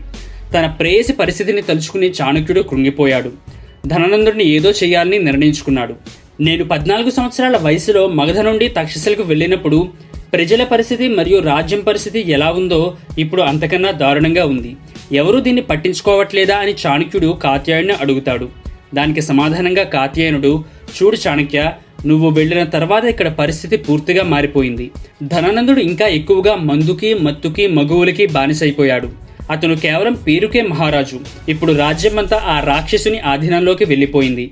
వాడు ఏం చెప్తే రాజు అదే వింటున్నాడు అని చెప్పాడు. మరి ప్రజలు ఏం చేస్తున్నారు? తిరగబడట్లేదా అని అడిగాడు చాణక్యుడు. ప్రజల వీళ్ళ? అని కాతేయుడు నవ్వి పిచ్చి ప్రజలు వీళ్ళకి ఏమీ అర్థం కాదు చేత కాదు. సంవత్సరం పొడుగునా ఈ ప్రజలు కష్టపడి పండించిన దానిలో తొంభై శాతం పన్నులకే పోతున్నాయి. ఆ మిగిలిన పది శాతం పంటను అమ్ముకుని అప్పులు కట్టుకుంటున్నారు. ప్రతి సంవత్సరం ఒకసారి ధనానందుడు రాజ్యంలోని ప్రజలందరికీ దానం పేరుతో కొంత ధాన్యాన్ని పంచిపెడతాడు. అవి తీసుకున్నాక ప్రజలు వారు తొంభై శాతం కట్టిన పన్నుల గురించి మర్చిపోయి అయ్యో మహారాజు చాలా గొప్పవాడు మనకి తినడానికి ధాన్యాలు పంచిపెడుతున్నాడు అని అనుకుని భ్రమలో బ్రతికేస్తున్నారు. ఎలా అంటే ప్రస్తుతం మనం నోటికి మందుకి ఓటు వేసినట్లే అనమాట అది విన్న చాణక్యుడు అదేంటి? ధనానందుడు ఇచ్చే ధాన్యం విలువ ధనాగారంతో పోలిస్తే ఒక శాతం కూడా ఉండదు. ఈ ప్రజలు ఇంతగా పీడించబడి ఏదో భిక్షగా వేసిన ధాన్యం తీసుకుని రాజును పోరుతున్నారేంటి? మనం మార్చాలి నేను మారుస్తాను. సమయం చూసి ధనానందుడిని దెబ్బతీసి గద్దె దించుతాను అని అంటాడు చాణక్యుడు. అది విన్న కాత్యాయనుడు నాయనా నీవు ఏం చేసినా ఆలోచించి చెయ్యి. సంవత్సరానికి ఒకసారి ఇచ్చే ధాన్యం పండుగ పది రోజుల్లో మొదలవుతుంది. అప్పుడు అందరం రాజుగారి సభామందిరం దగ్గరికి వెళ్ళాలి. కాబట్టి అప్పటిదాకా ఆగు అని చాణుక్యుని ఒప్పించాడు. చాణుక్యుడు మగధ రాజ్యానికి రావడం రాక్షస మంత్రికి తెలిసిపోయింది.